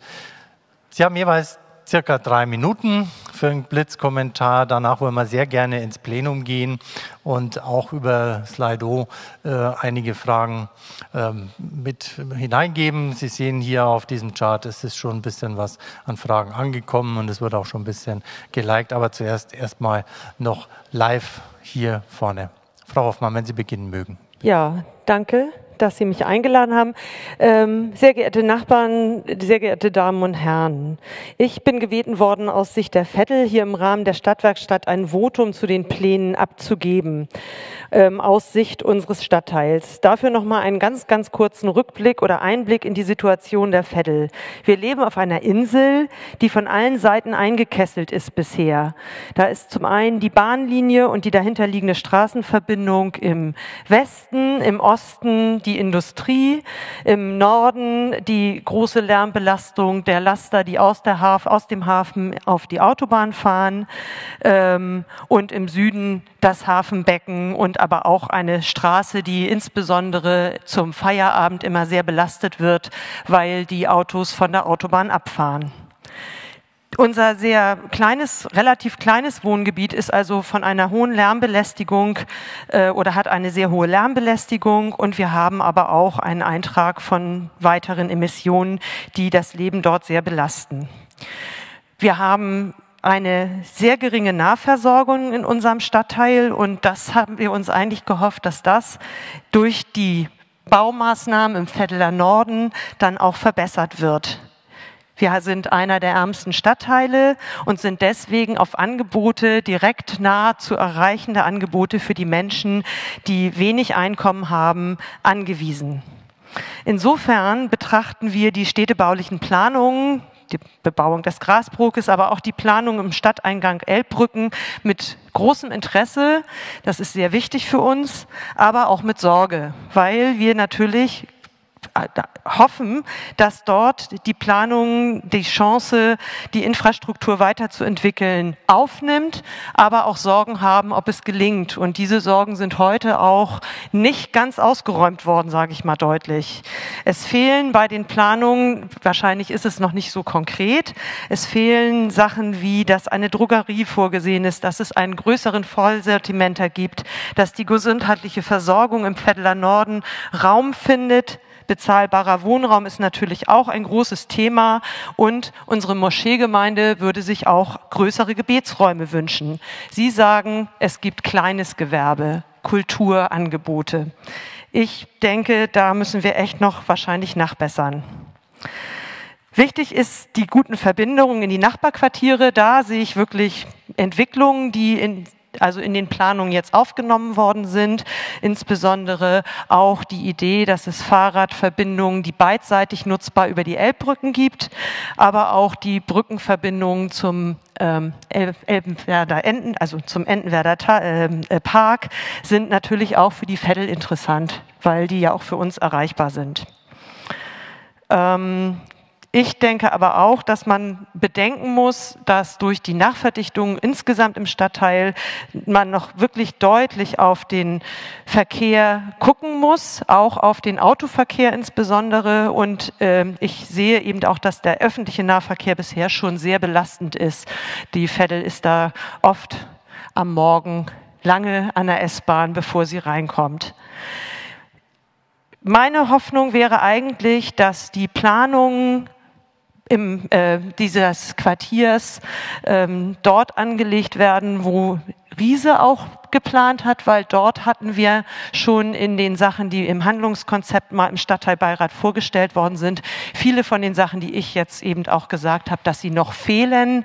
Dort haben wir sie vorgefunden. Insofern würde ich mir eigentlich wünschen, dass die Planung im Rahmen von Riese, mindestens was den Vetteler Norden anbetrifft, ähm, passieren könnte. Vielen Dank. Herzlichen Dank. Frau Frank-Wolgers, bitte gleich im Anschluss. Ja, ich komme aus dem Stadtteil Rotenburgsort, bin Mitglied im Stadtteilrat da und äh, begrüße Sie sehr herzlich hier heute. Eigentlich müsste man auch Kinder begrüßen, denn die Kinder sind es, die mit dem, was sich in unserem Stadtteil jetzt verändern soll, in Zukunft zurechtkommen müssen. Ich hoffe, Sie werden irgendwann auch gefragt. Rotenburgsort hat etwas mehr als 9000 Einwohner und ist ein Stadtteil ohne Anbindung an einen anderen Wohnstadtteil. Wir sind umgeben von der Elbe, einer schier unüberbrückbaren Straße, der Bahnlinie sowie Gewerbe und Industrie. Alles, was wir in Rotenburgsort uns aufgebaut haben, mussten wir immer selber aufbauen. Von außen kam relativ wenig. Wir hatten Stadtteilzentrum bis 2017 mit Holz- und Fahrradwerkstatt und vielen notwendigen sozialen Angeboten. Ist abgerissen worden für Wohnungsbau, ist auch wichtig. Unser einziges Theater wird uns jetzt genommen und wir haben keine weiterführende Schule im Stadtteil. Das sind die großen Probleme in einem der ärmsten Stadtteile Hamburgs. Der Stadtteil verändert sich merkbar. Es entstehen und sind geplant immer mehr Eigentumswohnungen, weniger sozialer Wohnungsbau, höhere Mieten, mehr jüngere Bewohner, die Alten sterben langsam weg, häufig Erstbezug nach dem Krieg. Ähm, es gibt mehr Kinder, auch durch einen hohen Anteil migrantischer Mitbürger, aber nicht mal einen Kinderarzt und auch keine anderen Fachärzte. Ich sehe im Moment noch nicht, wie sich die Veränderungen die jetzt angedacht sind, positiv auf den Stadtteil auswirken. Aber wir freuen uns als Nachbarschaft in die Planung mit einbezogen zu werden. Denn aus Sicht der Bewohner ist vieles anders, deutlicher, vielleicht auch klarer zu sehen als vom Architektendrehstuhl. Die für uns wichtigen Punkte im Rahmenplan sind einmal der Billepark, wohnungsnahe Grün- und Sportanlagen mit Zugang zum Wasser, zur Bille, sind gerade heutzutage sehr positiv und ganz wichtig. Es bleibt allerdings abzuwarten, inwieweit sich der nördliche Teil nutzen lässt bei 120.000 Fahrzeugen täglich, die eine ziemliche Geräuschkulisse bilden. Das ist der Bereich genau gegenüber von, äh, von, diesem, von dieser Industrieanlage. Ähm, es freut mich, dass bei diesem Entwurf offenbar davon abgesehen wurde, Hochwasserschutzanlagen abzureißen. Das war bei früheren Entwürfen anders. Ähm, Brandshof oder der Teil von Rotenburgsort, der neuerdings auch Rotenburgsort West genannt wird, ist durch die Billhorner Brückenstraße so abgetrennt, dass es nicht mal einen barrierefreien Zugang von Rotenburgsort gibt. Man kann nur über Treppen dahin kommen.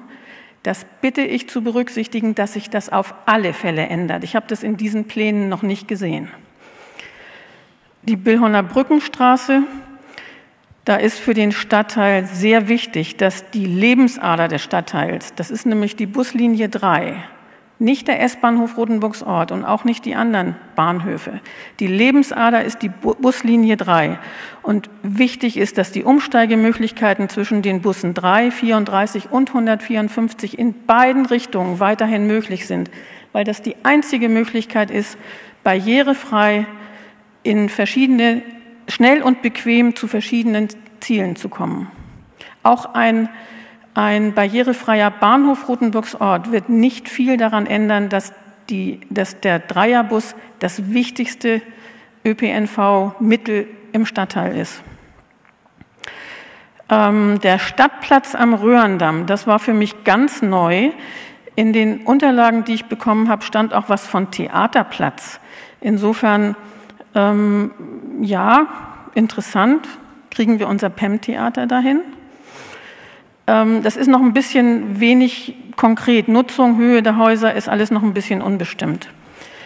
Ähm, in den Planungen ist viel Wohnungsbau. Deshalb nochmal die Frage, wo bleibt die weiterführende Schule, die man für einen Stadtteil braucht, wenn man Familien halten will. Ansonsten wird es nur junge Leute und alte Leute geben bei uns, weil die Familien wegziehen. Wir werden über Jahrzehnte mit Behinderungen und Baustellen leben müssen, die unsere Wohnqualität einschränken werden. Große Teile unseres Stadtteils, das parkähnliche riesige Grundstück von Hamburg Wasser oder das Siemens-Gelände sind für uns nicht zugänglich. Deshalb fordern wir das an ganz besonderer Stelle, nämlich der ehemaligen Bundesmonopolverwaltung für Brandwein am Haken, wo mehrere Grünzüge und Wegeverbindungen zusammenlaufen, das Gelände für die Allgemeinheit geöffnet wird und ein Zentrum für Nachbarschaft, soziale Hilfe, Kultur und Gemeinwohl entstehen kann, das für diesen Stadtteil eine echte Bereicherung wäre. Danke. Ja, vielen Dank. Ja. Herr Marte aus Sicht des Bezirks Mitte. Ja, vielleicht ganz kurz vorangestellt. Wir sind natürlich in einem hochkomplexen Planungsprozess unterwegs. Ich glaube, November 2019 hatten wir die erste Nachlese gemeinsam hier geführt, genau in dem Raum. Sie haben jetzt durchaus zu Recht, finde ich, Orte angesprochen, die jetzt nicht in den Fokusräumen liegen, die aber für die Quartiere Rodenburgsorten auch für den Wunschstadtteil Vettel wichtig sind. Wir nehmen das als Bezirk genauso wie die BSW und die BBEC natürlich mit. Und das sind Herausforderungen in den weiteren Planungsschritten, die vor uns liegen. Die Senatorin hat ja vorhin betont, wir sind auch hier in unterschiedlichen Beteiligungsformaten unterwegs, also ist ja nichts fertig. Das vielleicht einfach mal vorangestellt. Ansonsten denke ich, äh, wenn man jetzt mal schaut, was ist zwischenzeitlich produziert worden, da würde ich schon noch mal sagen zu den Büros, die haben schon richtig sich da angestrengt. Und wenn ich jetzt mal so ganz kurz zurückgehe, Sie hatten ja die Vettel zu Recht angesprochen, die Vettel ist isoliert, die hat eine ganz schwierige stadträumliche Lage. Jetzt gibt es ja den neuen Stadtteil Grasburg und wir müssen aufpassen, dass wir da auch die Vettel nach vorne bringen, der wirklich mal auch eine Adresse in den Norden geben. Und die Frage ist natürlich, das ist nicht nur eine städtebauliche Herausforderung diese ganzen verkehrlichen Probleme, die sind immanent und das ist tatsächlich schwierig, aber ich glaube, wir haben ja heute einen zweiten Entwurf gesehen. Und ähm, ich will mich da jetzt nicht über den Balkon legen, aber ich finde es gut, dass wir einen zweiten Entwurf gesehen haben, der auch nochmal mit einem Nutzungskonzept ganz anders an den Stadtteil herantritt. Und ich glaube, so ein bisschen die Sorge, die Sie hatten, ne, kann man schon mal auch so einsortieren. Wir haben das Thema Nahversorgung, wir haben die gesundheitlichen, sozialen Angebote, die fehlen. Wir haben nämlich im Wohnstadtteil weder die Standorte noch die Flächen noch die Immobilien. Wir haben natürlich auch tatsächlich die Bezüge zum Wasserraum heute so nicht. Ich habe es jetzt noch mal erlebt, tatsächlich auch die Straßenführung ist ja nicht in der richtigen Troglage. Wir müssen überhaupt sehen, wie kriegt man eine Brücke drüber, dass auch nach wie vor die LKW funktionieren. Und dann kommt jetzt die große Brücke von drüben. Und ich glaube, die Herausforderung besteht, den Grasbrook wirklich so zu entwickeln, wie das die Bebeck ja verfolgt und gleichzeitig die Vettel da auf der Siegerstraße mit dazu beteiligen. Und die Bilder, die wir heute gesehen haben, da habe ich schon eine gewisse Zuversicht. Da sind natürlich ganz viele Fragen mit verbunden. Und ähm, ich glaube, es ist wichtig, der Vettel da auch eine Kraft zu geben durch einen guten Städtebau, aber auch das Gesamtnutzungskonzept, das muss dann stimmen. Und dann glaube ich, ist es gut, wenn man noch mal ein bisschen realistisch draufschaut, kriegt man an dieser Stelle, an diesem Standort wirklich das Thema Wohnen so platziert, wie wir es uns wünschen. Da bin ich persönlich als Stadtplaner eher so, lassen Sie uns mit einer Ehrlichkeit rangehen, wenn es da so nicht richtig geht, vielleicht auch die Wohnprodukte da gar nicht so dann auch nachgefragt würden, dann lieber die Versorgungslage, die heute die Vettel drückt, dort authentisch zu beantworten. Rotenburgs Ort. Ich bin ganz bei Ihnen. Natürlich, da haben wir noch richtig was im Wohnstadtteil nachzubessern. Ich würde aber auch noch mal sagen, das gilt am Ende für alle städtischen Fokusräume. Wir müssen auch die laufenden Planungen eng vernetzen mit dem, was jetzt vor uns liegt. Und Sie wissen ja selbst, Rotenburgs Ort 16 sind wir mit dem Thema Wohnen unterwegs, auch familienorientiertes Wohnen. Ich glaube aber, und das hat Herr Höhing vorhin ja sehr deutlich gesagt, Rotenburgs Ort war mal ein wahnsinnig interessanter Stadtteil, als er aus der Gründerzeit heraus sich so entwickeln durfte. Und dann wurde 43 alles weggebombt. Und ich glaube, wenn wir hier Stadtreparatur hinbekommen, dass wirklich erstmal Rotenburgs Ort im Westen wieder ein Gesicht gegeben wird, also dass man sieht, hier ist hinten dran wirklich ein Stadtteil. Heute ist das ja so ein, so ein ganz schwieriger Raum, muss man wirklich mal sagen. Dann ist es schon äh, aus jedenfalls meiner Sicht heraus ein Riesengewinn. Und auch da gilt, man muss die einzelnen Nutzungen für die einzelnen Standorte und Flächen sich genau angucken, was da geht. Sicherlich ist auch das Wohnen da eher erst etwas in der zweiten und dritten Reihe äh, in geschützteren Lagen möglich. Aber man kriegt, glaube ich, auch am Ende neben der Adresse für Rotenburgs Ort auch die Chance, wirklich Nutzung hinten dran, die sensibler sind, überhaupt zu verfolgen, was ja heute bekanntlich nicht geht. Ich finde es gut, und das hat Herr Bruns Berntek vorhin gesagt, ich denke, wir sehen das im Bezirk genauso. Wir haben total heterogene Quartiere und da müssen wir darauf reagieren. Und wir dürfen nicht den Versuch machen, so in so einem gewissen Zeitgeist mit irgendwelchen Leitbildern, die dann immer wieder auftauchen, dem jetzt so äh, ja, ein bisschen, sage ich mal, unreflektiert nachzuhängen. Und ich glaube, die Chance mit dem, was wir heute gesehen haben, besteht schon darin, über einen relativ langen Prozess zu Antworten zu finden. Und das wird auch in unterschiedlichem Tempo passieren und bestimmte Dinge, da bin ich fest überzeugt, werden sich gar nicht so schnell bewegen lassen. Andere können wir sicherlich ein bisschen pushen. Und von daher, ähm, ja, dieser Billepark als Idee mit seinem Raum Charme, der da wirklich heute in dieser Industriegewerbelandschaft da jetzt mal verortet wird mit den Wasserlagen und das alles. Ich glaube, man darf sich nicht so genau jetzt da mit diesen ersten Zielbildern auseinandersetzen, ob man wirklich auf so einer Liegewiese richtig sich jetzt schon aufhalten kann. Aber die Perspektive, dass wir diese Orte jetzt angehen und versuchen zu öffnen, auch für den Stadtteil, das finde ich, äh, das ist genau das, was wir konzeptionell bisher nicht in dem Maßstab bearbeitet haben. Wir waren ja immer da etwas anders unterwegs und ähm, ich habe da schon eine gewisse Zuversicht, die Verknüpfung auch der neuen Stadtteile, die da entstehen, mit dem alten, da haben wir richtige Potenzial. Und jetzt gilt es natürlich, die Entwicklungen, die dort stattfinden, heute, auch einzelne größere Bauvorhaben, stärker mit dem Neuen zusammenzudenken. Und wir werden ja, davon gehe ich jetzt aus als Bezirk, die B-Plan-Verfahren betreiben. Da sind die ganzen Beteiligungsschritte. Also ich sehe nicht, dass da jemand jetzt verloren geht, sondern wir müssen da zusammen, glaube ich, so ein bisschen verhalten optimistisch nach vorne gucken. Und ja. Ein schöner Schlusswort. Herausfordernde Aufgabe. Dankeschön. Herr Gabani, bitteschön. Vielen Dank. Sehr geehrte Damen und Herren, ähm, die Ausführungen, die Frau Hoffmann und Frau Frank-Wolgast gemacht haben, setzen mich jetzt ein bisschen vor das Problem, dass meine Kommentare aus Sicht einer Fachbehörde ja relativ abgehoben sind und die das Wissen und die Betroffenheit vor Ort jetzt nicht aufgreifen können. Ich will aber versuchen, einen Übergang hinzukriegen. Äh, aus Sicht der Umweltbehörde haben wir es mit bei diesem Planungsprozess, wie ich finde, mit einem Best-Practice-Fall zu tun, weil wir den Versuch ja unternehmen, gemeinsam Städtebau, also Wohnen, Gewerbe, Städtebau, äh, das Mobilitätsthema und die grüne Infrastruktur von Anfang an gemeinsam zu denken. Das ist in diesem Fall auch für Hamburger Verhältnisse, glaube ich, auf einem neuen Niveau gelandet, was wir in der Vergangenheit geübt, aber vielleicht nicht immer so gut hinbekommen haben. Deswegen glaube ich, dass es von der Grundidee her möglich sein müsste, die äh, Anregungen, Betroffenheiten, äh, Sorgen, die Sie haben, da unterzubringen. Das setzt aber voraus, dass wir sie auch weiter mitnehmen. So, das war der Versuch des Übergangs. Jetzt kommt äh, die abgehobene, der abgehobene Teil. Die Umweltbehörde begleitet dieses Verfahren von Anfang an. Wir haben aus äh, Emissionsschutz, also Lärm, Luft, Altlasten, Naturschutz, Hochwasserschutz, was wir immer so machen, äh, im Auge gehabt. Aber ich will jetzt hier hauptsächlich zu dem Thema Freiraumplanung etwas sagen, weil zum gegenwärtigen Zeitpunkt der Planung das natürlich die vordringlichen Sachen sind, die die Gesamtstruktur betreffen.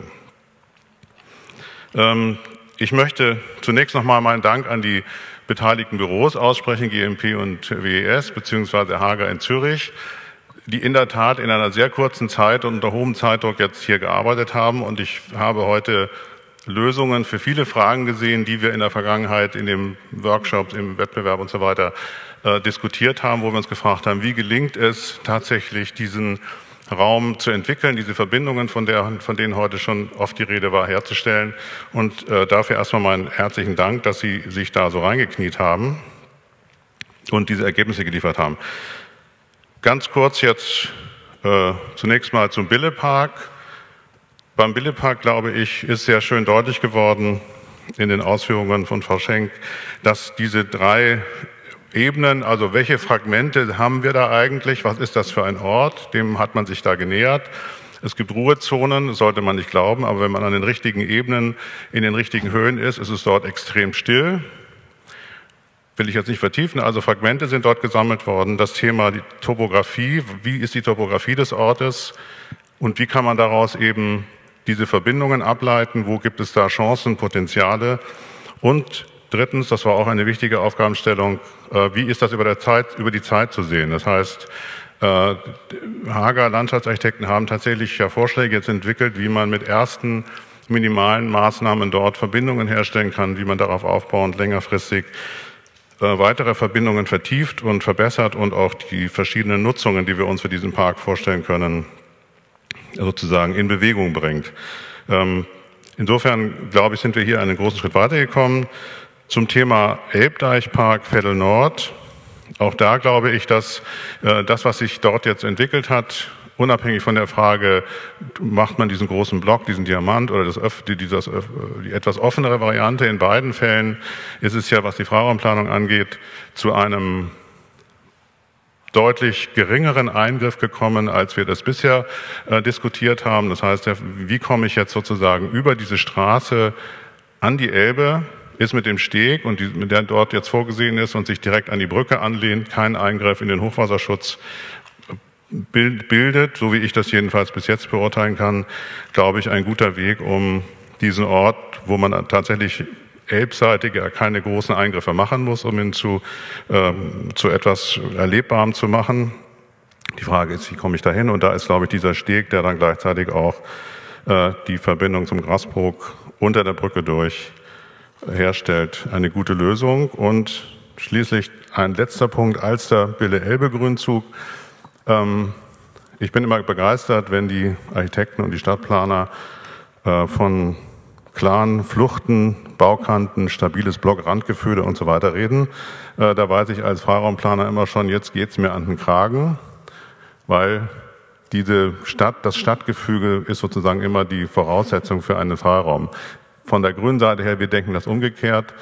Ähm, Deswegen muss man wahrscheinlich dieses Vernähen zwischen Alster, Bille, Elbe Grünzug am Durchstich durch den Bahndamm, also an der Stelle, wo der äh, Billhorner Mühlenweg landet, nochmal diskutieren, obwohl ich zugeben muss, dass die, die Figur, die da jetzt gefunden ist, äh, auf den ersten Blick überzeugt und auch natürlich innerhalb dieses Quartiers bestimmte Fahrraumqualitäten ermöglicht. Aber die Frage, wie man den Grünzug jetzt sozusagen in diesen Bereich reinzieht, wie man die Öffnung durch den Durchstich nach Rotenburgs Ort äh, hinbekommt, da muss man, glaube ich, noch ein bisschen dran arbeiten.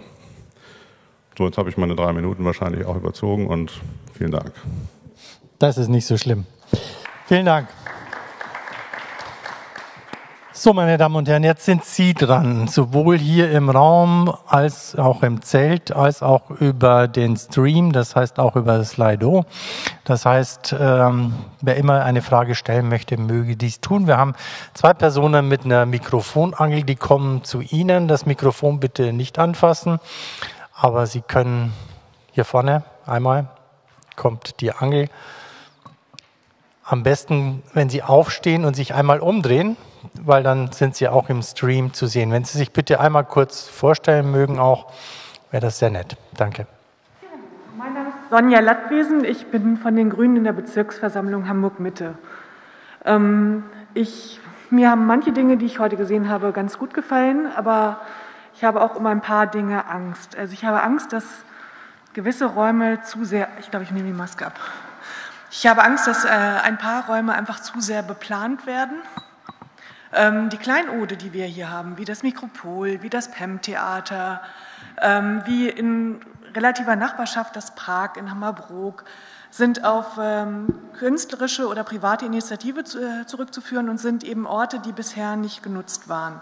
Und ich habe den Eindruck, dass eben gerade mit der Freiraumplanung viele Orte zu sehr durchgeplant werden und eben, dass gerade bei den ähm, Freiraumzonen oder bei den, beim Billehafen viele Dinge zu sehr bis ins kleinste Detail durchgeplant werden und eben keinerlei Platz bleibt für kreative Nutzung. Die nächsten Musikproberäume, die sind etwa 50, 60 Meter von hier im Industriegebiet und eben auch in Rothenburgs Ort und auf der Veddel werden Musikproberäume, kreative Räume ähm, immer weniger und eben wenn wir tatsächlich jetzt eben auch wirklich kleinsten, den kleinsten Freiraum jetzt schon durchplanen und aufs Kleinste beplanen oder neu überplanen, dann äh, fallen auch die weg. Also ich möchte dafür appellieren, dass ähm, kleinere Freiräume frei bleiben und eben das gerade an den Stellen, an denen sich Dinge und Kreativität entwickeln soll, dass eben auch dort der Vorrang dann gegeben wird für die Leute, die sich jetzt schon engagieren und die sich schon engagiert haben und dass der Vorrang gegeben wird eben für die kreative Nutzung, die schon besteht und eben dass am Billhafen zum Beispiel dort, wo man ein Strandcafé oder ein Hafencafé haben möchte, dass dort auch erstmal gelassen wird, damit man dann eben Platz, Gelegenheit hat, dass eben dort die ideale Nutzung sich rausbildet. Vielen Dank. Das habe ich jetzt hier als Appell und Statement verstanden, als eine Frage. Insofern Gibt es weitere Fragen hier im Raum? Da vorne, ja.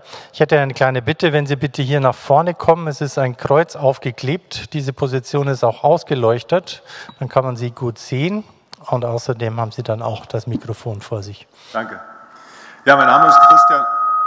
Mein Name ist Christian Butzke. Ich vertrete die Vetteler Fischgaststätte und äh, im Moment äh, im Besitz meiner Mutter, langjährig im Familienbesitz. Ich möchte die übernehmen im nächsten Jahr.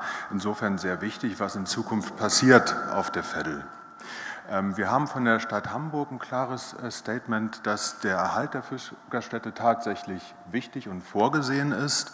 Heute haben wir die Feddeler Fischgaststätte hier nicht gesehen und ähm, wir fragen uns natürlich, an welcher Stelle werden wir künftig unsere Gaststätte finden. An gleicher Stelle ist das baulich möglich ähm, oder an anderer Stelle. Und da wünschen wir uns natürlich recht zeitnah Antworten wie das funktionieren kann. Ähm, wichtig ist uns eigentlich, weil das Alleinstellungsmerkmal der Gaststätte diese Zeitreise in die 1950er Jahre ist, das irgendwo dann auch wiederfinden zu können, von der äußeren oder aber auch von der inneren Ansicht. Ähm, Wichtig äh, ist auch noch äh, unser Ofen von 1953, ähm, der den hervorragenden Backfisch macht. Der hat Besitzstand an der jetzigen Stelle. Und was passiert, wenn die Gaststätte dann irgendwo anders steht? Letztlich äh, die Bauphase, die dann irgendwann näher rückt. Ähm, wir waren sehr beeinträchtigt, als die Straße neu gebaut wurde, was vergleichsweise ein sehr geringes ähm, vom Aufwand ein kleines Projekt ist. Jetzt wird es natürlich alles ein bisschen größer und wir können uns nicht erlauben, unseren Betrieb lange zu schließen und wir müssen natürlich auch erreichbar sein. Eine ordentliche Ausschilderung, Parkflächen ähm, und eben, wie gesagt, den Betrieb so lange wie möglich aufrechterhalten. Das wären unsere Gedanken und Wünsche. Vielen Dank. Vielen Dank. das deckt sich auch mit der zweiten Frage bei Slido. Wo ist bei der derzeitigen Präsentation die historische Federler Fischgaststätte geblieben? Die ist ja derzeit kaum noch zu erreichen, hat 13 Likes, äh, zweitgelikte Frage. Wer kann dazu etwas sagen? Zu dieser Frage der Fischgaststätte. Herr Höhung, wenn Sie auch aufstehen. Sie haben ein Mikro, ja, ja. Sie haben ein Mikro, das läuft. Ja, klar, in den Zeichnungen ist das in dem Maßstab erst noch mal nicht drin. Äh, wir haben jetzt bis dato auch nicht alles rund um diese Fischgaststätte entworfen. Aber ich gehe davon aus, es gibt diese denkmalgeschützten Hallen und da habe ich ja auch vorhin schon gesehen, warum man das nicht wegnimmt, äh, war ja so eine dieser Fragen und man endlich die Chance hätte, so richtig neu was zu machen. Unsere Grundhaltung ist ja alles das, was interessant ist und da ist irgendwie weiterzudenken und insofern hat diese Fischgaststätte ja ja schon auch irgendwie, ist ja ein Teil des Charakters dieser, dieser Fläche. Insofern werden wir uns überlegen müssen, wo, wo bringen wir die unter? Möglicherweise ist das Baustein in diesen denkmalgeschützten Hallen. Vielleicht gibt es auch noch eine ganz andere Idee.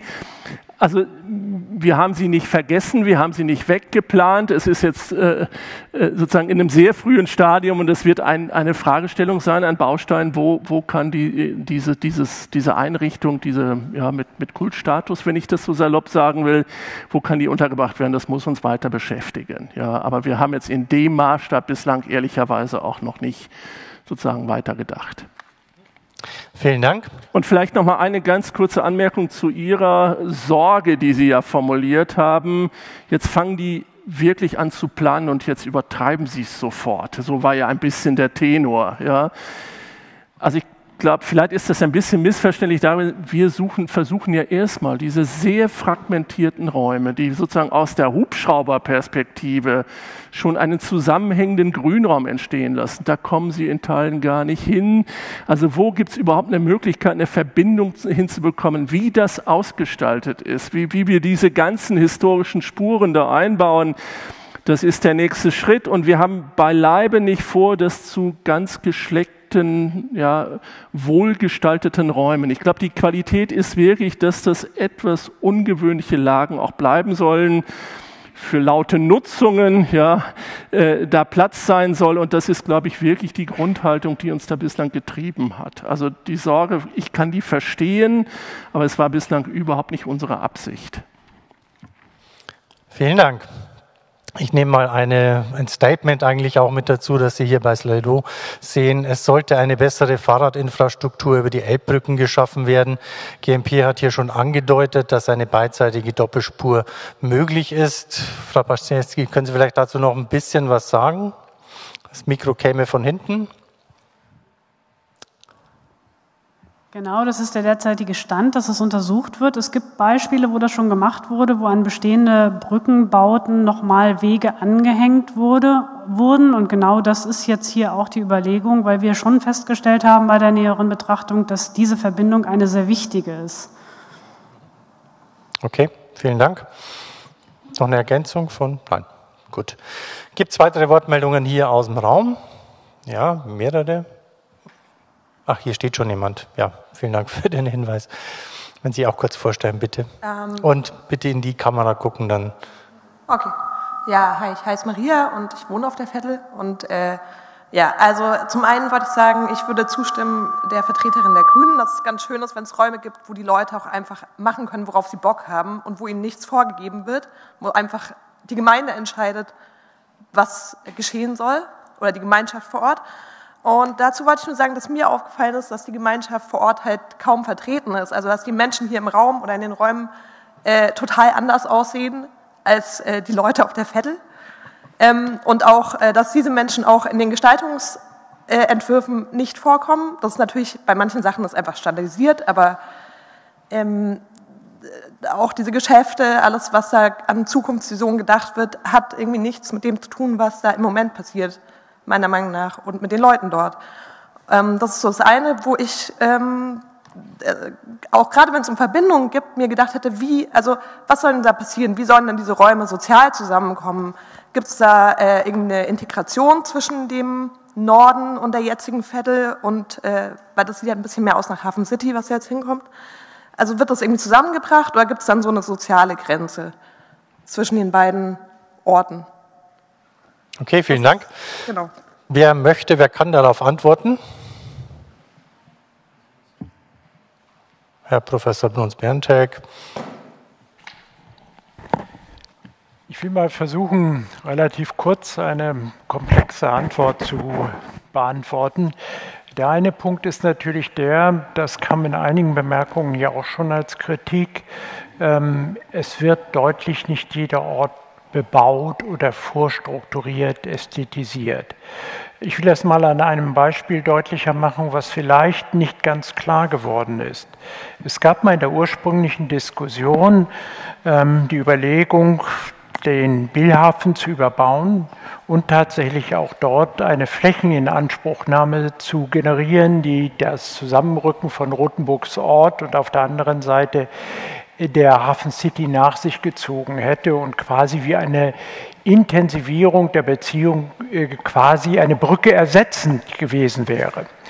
Und das ist hier in den Bildern ganz eindeutig anders. Es ist hervorgehoben, dass wenn auf dieser Brücke, Herr Rotfuchs hatte sie gezeigt, mit Schwung nach Westen eine Situation entsteht, dass diese Hakensituation, dass diese Situation quasi eines Hakens, der den, Bille, äh, die den Billhafen stützt, tatsächlich der einzige Punkt ist, der verändert wird.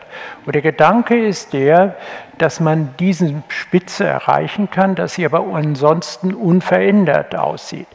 Sie haben vielleicht gesehen, die Bilder, die Herr Höhen gezeigt hat und auf der anderen Seite, die dann von den Planern gezeichnet waren, sind diejenigen, die ein identisches Bild erzeugen. Es ist also nicht die Idee, diesen Freiraum tatsächlich zu besetzen und ihn fundamental zu verändern, sondern er bleibt in seiner Struktur erhalten. Er wird nur besser integriert, wird dadurch auch nutzbar im Alltagsgebrauch und hat nicht ganz so eine insuläre Funktion. Das heißt also aus dieser Sicht glaube ich, dass ähm, diese Planung, so wie sie jetzt angelegt ist, in den Grundzügen, auch wenn man sich einen Endzustand vorstellt, in 30 Jahren sehr viele Freiräume behalten wird, ohne die tatsächlich heute bereits sozusagen eine, eine ähm, übermäßige Vordefinition erfolgt. Und ähm, es gab ja einige Fragestellungen zur sozialen Infrastruktur. Wenn ich das nochmal aufgreifen darf, auch die Frage, die hier gestellt wurde. Wir sind auf einer Planungsebene, wo wir noch gar keine Nutzung für bestimmte Gebäude tatsächlich planen. Die Planer haben deutlich gemacht, dass sie sich sehr unterschiedliche Planungen vorstellen. Wenn wir uns also dem Thema Kultur nähern, dann bedeutet das, dass wir heute beispielsweise für Rothenburgs Ort eine Bauvoranfrage gestellt haben für die Unterbringung von Musikübungsräumen und zwar an einer Stelle, wo tatsächlich auch dauerhaft sinnvoll, möglicherweise gar keine Bebauung entstehen kann. Also an diesen Fragen wird ja inhaltlich gearbeitet, aber die städtebauliche Ebene ist keine Antwort auf diese Frage, sondern sie schafft Möglichkeiten, mit diesen Fragen in Zukunft anders umzugehen. Einerseits die Freiräume in Gebäuden zu schaffen, um das mal deutlich zu sagen. Das PEM-Theater wird auf der einen Seite natürlich sozusagen durch die Planung beeinträchtigt. Auf der anderen Seite gibt es eine Zusage gegenüber dem PEM-Theater, dass sie in unmittelbarer Nähe in einem der Gebäude so untergebracht werden können, dass sie dauerhaft diese Flächen auch kostenfrei nur gegen Entgelt in Bezug auf die Betriebskosten nutzen können. Das heißt also, dass das mit dem Umsetzen verbunden ist, ist nicht eine Verdrängung, sondern es ist tatsächlich eine Standortsicherung, die damit verbunden ist. Diese Prozesse laufen dann aber nicht auf der Ebene sozusagen der Stadtplanung ab, sondern eben auf der Ebene zum Beispiel unserer Gesellschaft, wo wir Zusagen geben können, wenn ein großes Haus gebaut wird, dann kann auch 50 oder 100 Meter entfernt das PEM-Theater einen neuen Platz finden. Deswegen ist die Frage der sozialen Infrastruktur oder der kulturellen Möglichkeiten eine, die nicht durch die Perspektive des Verdrängens geprägt ist, sondern des Erschaffens von neuen Möglichkeiten. auch preiswerter, günstiger tatsächlich am neuen Standort zu sein, das neu gebaut ist, bedeutet nicht, dass damit viel höhere Kosten gerade für solche Nutzungen entstehen, sondern es ist gerade die Querfinanzierungsmöglichkeit, die entsteht und das bedeutet natürlich neue Freiräume. Vielleicht nicht im klassischen Sinne der grünen Freiräume, aber andere Freiräume, die durch Bebauung entstehen. Das ist, glaube ich, ein wichtiges Thema und Kommentare, wie Sie dann beispielsweise für andere Standorte in Rothenburgs Ort gesagt, äh, benannt wurden, die kann ich verstehen, aber die waren noch nicht unser Gegenstand in der Planung. Okay, vielen Dank. Ich habe hier vorne auch dazu zwei Wortmeldungen, einmal Herr Gabani, einmal Herr Mate. Ja, vielen Dank. Mikro ist an, nee, ist nicht an. Wer macht das Mikro an? Danke. Ähm, ich möchte auf den ersten Teil der Frage, die äh, von der Bewohnerin der Vettel gestellt worden ist, noch kurz was äh, sagen. Es ist ja kein neues Problem, sondern es ist ein bekanntes Problem, dass die Menschen, die vor Ort leben, in solchen über jetzt in Planung gehenden Räumen äh, nicht immer in der aktuellen Zusammensetzung, wie sie da sind, wie sie sich bewegen, in diesen Beteiligungsprozessen vorkommen. Das liegt daran, dass diese Beteiligungsprozesse über lange Strecken gehen, dass es unterschiedliche Kulturen gibt, wie man miteinander redet. Äh, da sind wir, glaube ich, mittlerweile in Hamburg relativ gut aufgestellt. Einerseits, andererseits glaube ich, dass es, und ich kann jetzt hier keinen Rat geben, das will ich mir nicht herausnehmen, aber ich kann mir vorstellen, dass eine gewisse kreative Professionalisierung in den ja vorhandenen Strukturen hier auf der Vettel durchaus dazu führen würde, dass bestimmte neue Kommunikationsstränge entstehen. Da würde ich also immer niemanden davon abhalten wollen, das auch äh, kreativ äh, weiterzutreiben. Vielen Dank. Herr Mate. Ja, vielleicht auch direkt nochmal zur Vettel. Also uns im Bezirk, ob Bezirkspolitik oder Bezirksamt, ist die Vettel natürlich ein wichtiger Stadtraum. Wir haben uns da auch intensiv schon über Jahre mit beschäftigt. Wir stehen da auch im Wort. Also nochmal zur Fischgaststätte. Da haben wir Standorte ja mit ihrer Mutter diskutiert, auch mit Politik. Und das, was eben da schon zugesagt wurde, würde ich gerne nochmal verstärken. Das werden wir auch nicht vergessen, dass wir da miteinander darüber gesprochen haben. Der zweite Punkt. Wir haben ja eine Defizit- und Potenzialanalyse für die gesamte Vettel gemacht. Wir sind jetzt demnächst im neuen Fördergebiet Vettel unterwegs. Wir haben immer gesagt, der Vetteler Norden ist für uns auch der Standort, wo wir natürlich auch Lösungen entwickeln müssen. Und deswegen, wir haben ja heute zwei Bilder gesehen, einmal den Superblock und einmal die äh, Massenstudie, wo wir eben die Rampen haben und links und rechts haben wir dann diese Zeilengebäude. Ähm, ich persönlich äh, habe natürlich da durchaus einen Favoriten, den stelle ich jetzt natürlich hier auch zurück, aber ich will mal sagen, man kann Nutzungskonzepte, das war ja so die Frage, im Grunde für beide Baumassenstudien äh, sich da äh, vorstellen, dass die integrierbar sind. Und wir reden noch nicht über Architektur, also wie raff es ist oder wie geleckt, was Sie vorhin meinten, oder die Dame da und ob das jetzt, sage ich mal, ein Stück die Bevölkerung erreicht oder nicht. Aber ich glaube, der Anspruch bei uns allen ist im Raum, dass wir hier wirklich Antworten für die Orte finden wollen. Leider nochmal zurückkommen. Wir haben hier zumindest ein Statement, würde ich sagen, weniger eine Frage. Aber vielleicht kann sie ja trotzdem kommentiert werden. Warum spielt das Thema Verkehrswende überhaupt keine Rolle? Hat er eigentlich Hoffnung gehabt, dass sich der Autoverkehr dauerhaft verringert? Schade. Ich lasse das jetzt einmal so stehen und dann gibt es aber eine konkrete Frage zum äh, Zoll, zu den Zollhallen. Warum fehlt der Stadt der Mut, den unsinnigen Denkmalschutz der Zollhallen aufzuheben, der an dieser Stelle eine schlüssige Bebauung verhindert? Wer kann zu dieser Frage vielleicht was sagen? Herr Höhing, bitteschön. Ich finde ich find es hier in Hamburg mutig, mal was stehen zu lassen. Äh, und das sind jetzt an der Stelle mal die Zollhallen. Und manchmal ist das ganz gut, wenn man sich an solch sperrigen Riegeln mal abarbeiten muss. Das macht es ein bisschen schwieriger, darum einen sinnvollen Baublock oder zwei Zeilen oder was uns da noch einfallen wird, herzustellen. Aber das steht nun mal da. Das ist sozusagen auch ein Stückchen Geschichte dieses Ortes. Der Denkmalschutz hat das für wichtig gefunden. Und jetzt müssen wir uns damit auseinandersetzen. Und vielleicht entsteht genau dadurch was sehr viel Spezifisches, als wenn wir einfach alles abräumen und jetzt mal ein weißes Blatt entstehen lassen und dann anfangen, was Kluges zu machen. Also ich habe ich hab natürlich auch den Eindruck, und ich glaube, das deckt sich mit dem von Herrn Mate, dass das vielleicht noch nicht alles der Weisheit letzter Schluss ist. Ich hatte vorhin ganz zu Anfang gesagt, das hat noch ein bisschen was Holzschnittartiges, weit davon entfernt, irgendwie passgenaue Bausteine zu sein. Aber ich finde das ehrlicherweise richtig gut, dass wir uns daran abarbeiten, ein bisschen die Zähne ausbeißen und dann, glaube ich, auch was ziemlich Spezifisches an diesen Ort hinbringen. Und zur Verkehrswende, ich weiß nicht, wer die Frage gestellt hat, aber ich glaube, wir haben jetzt ziemlich ausführlich über dieses Thema der Verbindungen, der Fußgängerbeziehungen, der neuen Brücken und, und, und gesprochen. Also ich sehe jetzt nicht, dass wir das aus den Augen verloren hätten.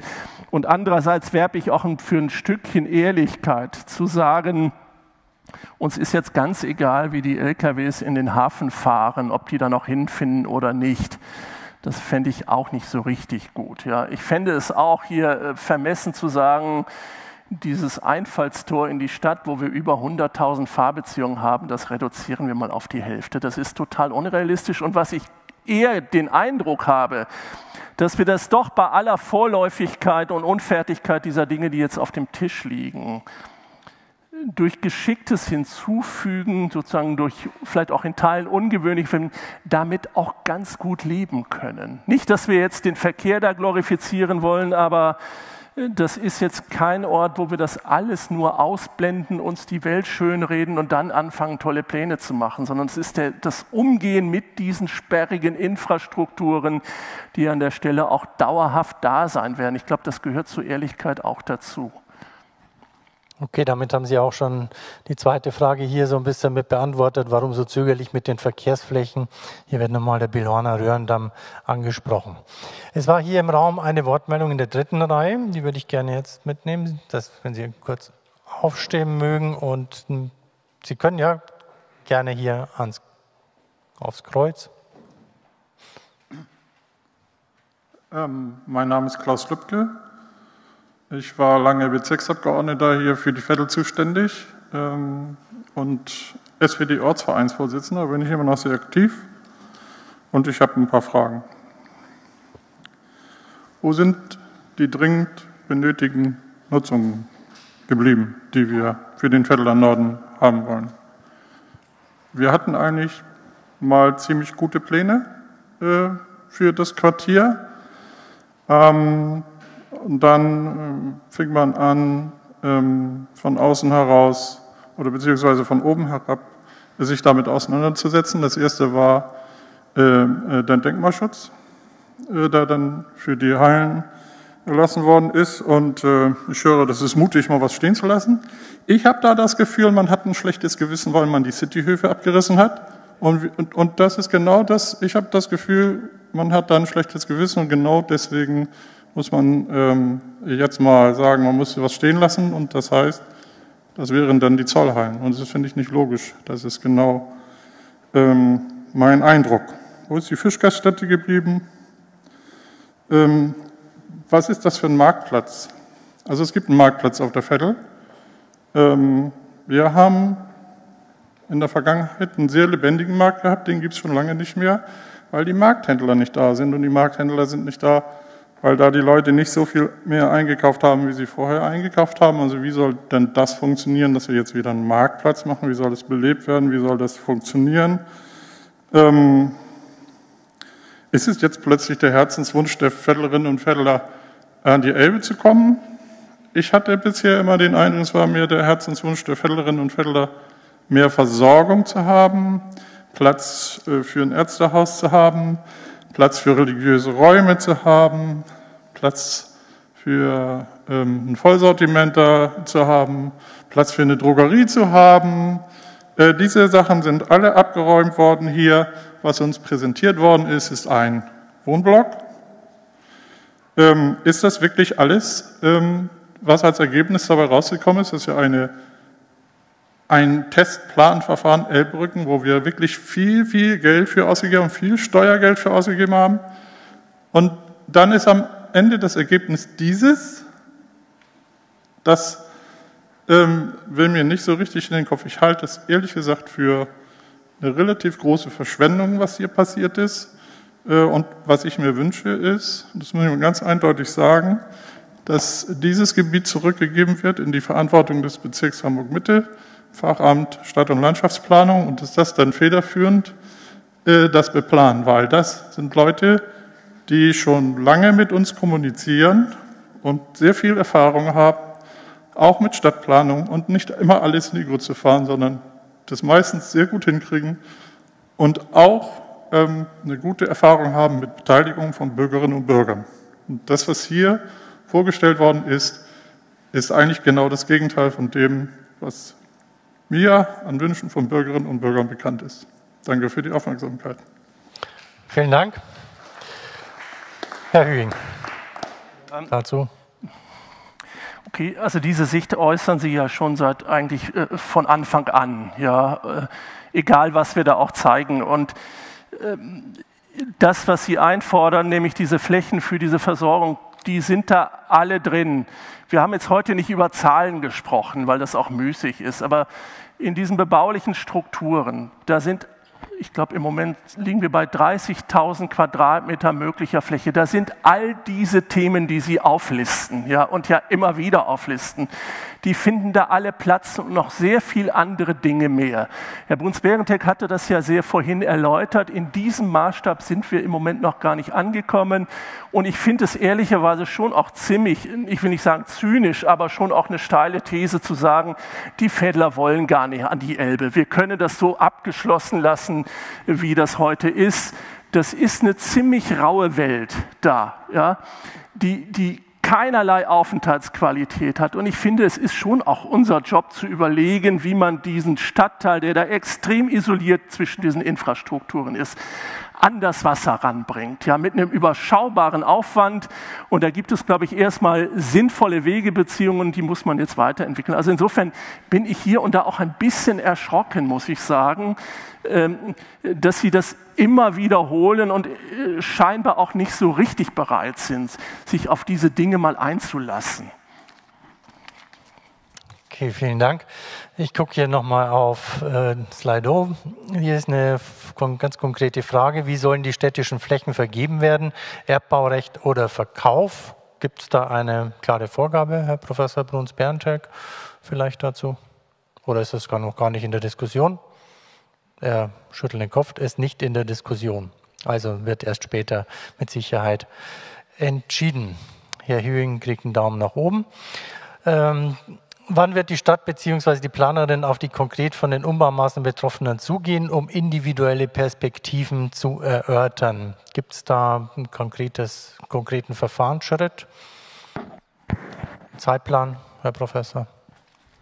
Ich kann es ja versuchen, nochmal darzustellen. Ich hatte das ja einleitend gesagt. Ähm, zum jetzigen Zeitpunkt sind das Grundüberlegungen, die übersetzt werden in ein Planbild, das dann nochmal vom Senat fixiert wird. Was hinter dieser abstrakten Überlegung steht, ist natürlich die Tatsache, dass zunächst einmal vor dem Hintergrund der politischen Entscheidung, die notwendig ist, dann die nächsten Schritte formuliert werden. Das heißt, individuelle Lösungen können wir zum bestimmten Zeitpunkt gar nicht aufrufen, wenn wir noch gar nicht wissen, ob es eine zeitpunktbezogene oder eine realistische Umsetzungsmöglichkeit gibt. Für Orte, zum Beispiel wie das PEM-Theater, hatte ich das erläutert. Da ist es offensichtlich, dass man die Erschließung wenn man die Autobahnuhren wegnimmt, nicht so verändern kann, wenn man das Gebiet erschließen will, dass das PEM-Theater nicht betroffen wird. Das heißt, wir gucken uns schon frühzeitig die Orte an, wer ist tatsächlich betroffen, welche Lösungen kann man finden. Wir führen auch einzelne Gespräche, aber es ist zum jetzigen Zeitpunkt noch gar keine angemessene zeitliche oder rechtliche Möglichkeit da, eine Umsetzungsperspektive zu haben. Diejenigen, die fairerweise betroffen sein können, die wollen von uns auch eine Antwort haben, sind wir überhaupt betroffen? Wir wissen es zum Teil noch gar nicht. Diejenigen, die betroffen sein könnten, wollen natürlich auch eine Antwort haben, wann sind sie betroffen? Auch diese Frage können wir zum jetzigen Zeitpunkt nicht beantworten.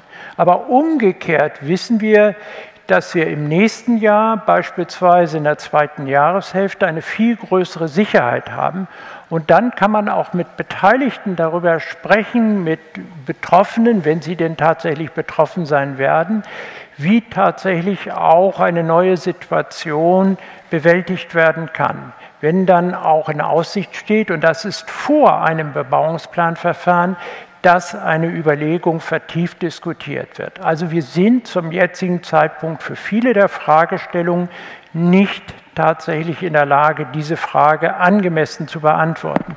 Ich will noch mal einen anderen Punkt erwähnen, weil ähm, jetzt die Frage so häufig auftauchte, dass die Planung ähm, ohne die Vetteler oder Rotenburgs Orter gemacht. Und die Beteiligten haben hier deutlich gesagt, ja, wir wollen soziale Infrastruktur. Herr Lübcke hat gesagt, wir wollen Versorgungsinfrastruktur. Man muss sich die Frage stellen, warum ist die nicht da? Hätte denn die, Stadt einen Laden bauen sollen und betreiben sollen? Das heißt, wir haben hier Zusammenhänge, die auch genutzt werden müssen. Das heißt, mit der größeren Zahl von Wohnungen entsteht auch eine Nachfragemöglichkeit, sodass man einen frischen Markt, dass man einen Drogeriemarkt schafft. Es ist nicht so, weil die Vettel vergessen wurde, weil es dort eine Straße gibt, ist dort kein frischer Markt, sondern er ist deswegen nicht da, weil die Kaufkraft nicht ausreicht, um einen frischen Markt zu betreiben. Wir haben mit der Diskussion um den Grasbrook immer gesagt, wir denken mal Grasbrook und die Vettel zusammen. Und die entscheidende Frage ist nicht, wer jetzt die Planung macht, sondern dass tatsächlich mehr Nachfrage in den Bereich der Vettel hineinkommt, um dann tatsächlich solche Infrastrukturen zu entwickeln.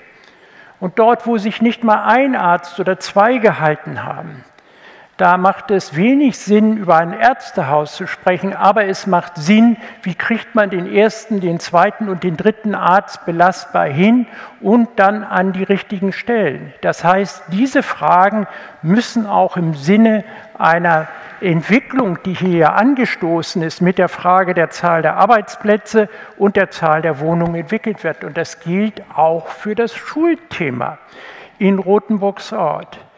Der Schulsenator Rabe hat gesagt, ja, ich kann das gar nicht beurteilen, es gibt nicht genügend Schüler für eine eigenständige weiterführende Schule. Das bedeutet aber nicht, dass die soziale Infrastruktur in Rothenburgs Ort vernachlässigt wird. Es gibt eine bindende Zusage des Senates zu sagen, die Rothenburgs Orter Schüler kriegen eine Beschulungsmöglichkeit, wenn ich das so sagen darf, in der Hafen City und deswegen ist die Planung für diese Schule ausdrücklich vergrößert worden. Es kommen zwei zusätzliche parallele Züge an diesen Schulstandort, aber eine weiterführende Schule mit zwei Zügen selber ist nicht darstellbar. Aber das andere ist natürlich, dass damit die Strukturen mitgedacht werden. Und die können Sie, und das will ich nochmal deutlich machen, nicht in den Plänen erkennen, sondern wir denken diese sozialen Zusammenhänge mit in der Verknüpfung dieser jeweiligen Stadtteile. Und die sollen sich gegenseitig stützen. Und das ist wichtig, dass Sie die nicht isoliert sehen, dass der eine Stadtteil sich für sich selbst entwickeln muss. Diese Haltung müssen wir aufbrechen und die Stadtteile müssen sich nicht nur verbinden, sondern sich auch selber miteinander so verbinden, dass ihre sozialen und kulturellen Qualitäten sich weiterentwickeln können. Und das ist die Perspektive, die hinter dieser Planung steht. Und das ist, glaube ich, wichtig, das zu erkennen. Vielen Dank. Wir haben hier eine, einen Aufreger an Platz 1. Ich glaube, hier haben ein paar Menschen Angst. Wie sollen wir und andere Startups an unsere Flächen gelangen, wenn die Reginenstraße wegfallen soll? Ich kann mir nicht vorstellen, dass irgendwie Startups völlig von der Außenwelt abgeschnitten werden sollen, zumindest verkehrlich. Herr Marte, können Sie dazu was sagen? Haben Sie das im Blick zufällig? Wissen Sie, worum es geht? Zur Reginenstraße wollen Sie von mir eine Antwort haben. Da kann ich im Moment nichts zu sagen, nein. Okay. Gibt es jemand anders, der dazu was sagen kann? Ich kann dazu nicht konkret was sagen, sagen, aber es, wir werden jetzt nicht irgendwelche Straßen abhängen, damit Menschen nicht mehr zu ihren Arbeitsplätzen kommen können. Das wäre ja absurd, ja. Also äh, vielleicht ist das aber im Moment auch ein Maßstab, der ähm, Herr Marte? Ich kann höchstens ähm, ich nehme an, dass das so einen gewissen Zusammenhang gibt. Wir sind ja in dem neuen Quartier, das wir jetzt entwickeln, zwischen Markmannstraße und Billhorner Kanalstraße dran. Und da gibt es natürlich bestimmte Betriebe, die da temporär untergebracht sind. Und richtig ist, dass dort neuer Wohnungsbau entsteht, wo heute Gewerbe ist. Gleichzeitig sichern wir aber innerhalb dieses neuen Quartiers Gewerbestandorte. So, und wir kommen am Ende zu 1109 Wohnungen dort. Übrigens in den Wohnprodukten von Familienwohnen über kleine Wohnungen, über öffentlich geförderte Genossenschaftswohnungen. Auch die Saga wird dort realisieren, bis hin zu äh, entsprechend anderen Wohnformen. Und das, was Herr Bruns-Berntek eben ansprach, die Nahversorgung in Rotenburgs Ort, ich glaube, das ist nochmal sehr plastisch, dort auch für uns nachvollziehbar. Wir kriegen durch die vielen neuen Haushalte auch die Möglichkeit, die Nahversorgung, es geht ja nicht nur darum, dass neue dazukommen, sondern wie sind sie heute im Bestand aufgestellt? Also welche Verkaufsfläche haben sie? Wie ist dort das Ganze organisiert? Ist es auch für die Rotenburgs Otter schön, da einkaufen zu gehen oder muss da nicht noch ein bisschen was anderes passieren? Ich glaube, an der Stelle sind wir ganz gut dort unterwegs und deswegen würde ich noch mal kurz zu der Vettel vielleicht den Hinweis geben, Herr Hügen, wir verfolgen ja schon im Norden durchaus einen Nahversorger besser aufzustellen, wie er heute mit dem Pennymarkt aufgestellt ist.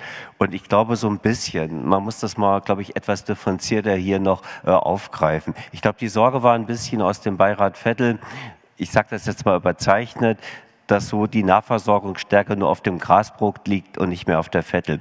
Und ich glaube, das ist uns allen hier Beteiligten bewusst, dass das natürlich nicht passieren darf. Ja?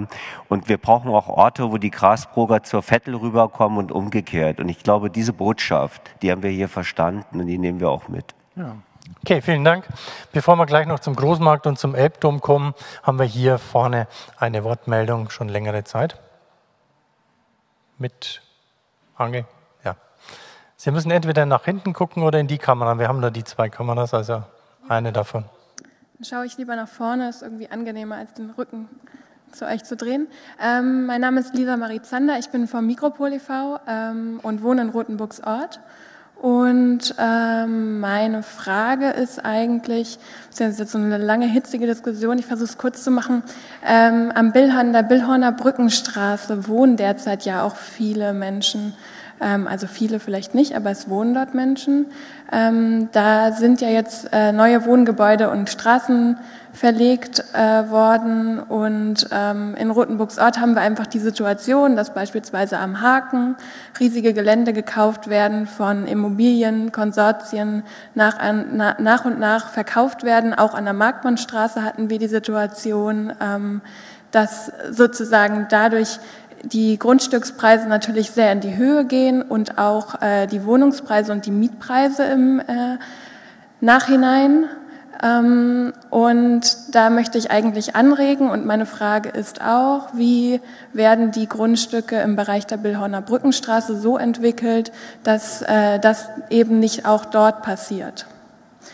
Und ähm, genau, dass dort, äh, wie Herr Mate schon gesagt hat, eben in der Markmannstraße jetzt sehr viele neue Wohnungen entstehen, äh, weist eigentlich darauf hin, wo wir ja auch im Dialog mit Ihnen allen sind, äh, dass wir einfach neue Stadtteilräume brauchen in Rotenburgs Ort, die weggefallen sind, was Helga auch schon gesagt hatte. Und äh, da möchte ich einfach nochmal betonen, dass die äh, bitte vorrangig ähm, auch Platz finden in der Entwicklung auch in der Phasenweise über Jahrzehnte hinweg, die sind wirklich sehr, werden sehr dringend gebraucht. Danke. Vielen Dank. Wer kann dazu was sagen? Herr Marte? Ich glaube, die Hinweise, die sind jetzt an uns alle gerichtet. In dem vor uns liegenden weiteren Planungsprozessverlauf müssen wir natürlich genau auch schauen, wie kriegen wir das immer den Standort, die Fläche genau betrachtet, ein Stück mit übersetzt.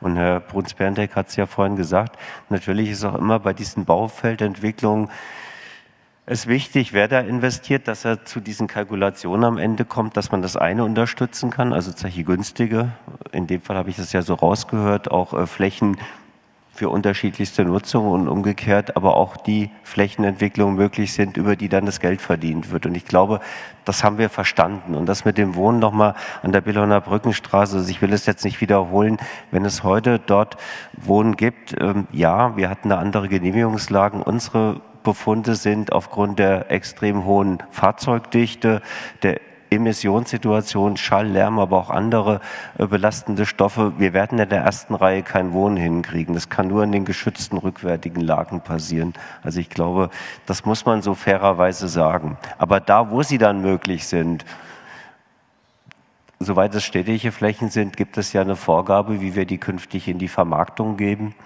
Das ist klar, glaube ich, mit dem Erbbaurecht, ja. Und also, da, aber Frau Stapelfeld, da will ich jetzt wirklich da, äh, nicht vorgehen, sondern das ist ja am Ende eine Sache, wie es jetzt hier die Senatsebene dazu ähm, entscheidet. Aber das ist unser Stand im Bezirk. Ne? Mhm.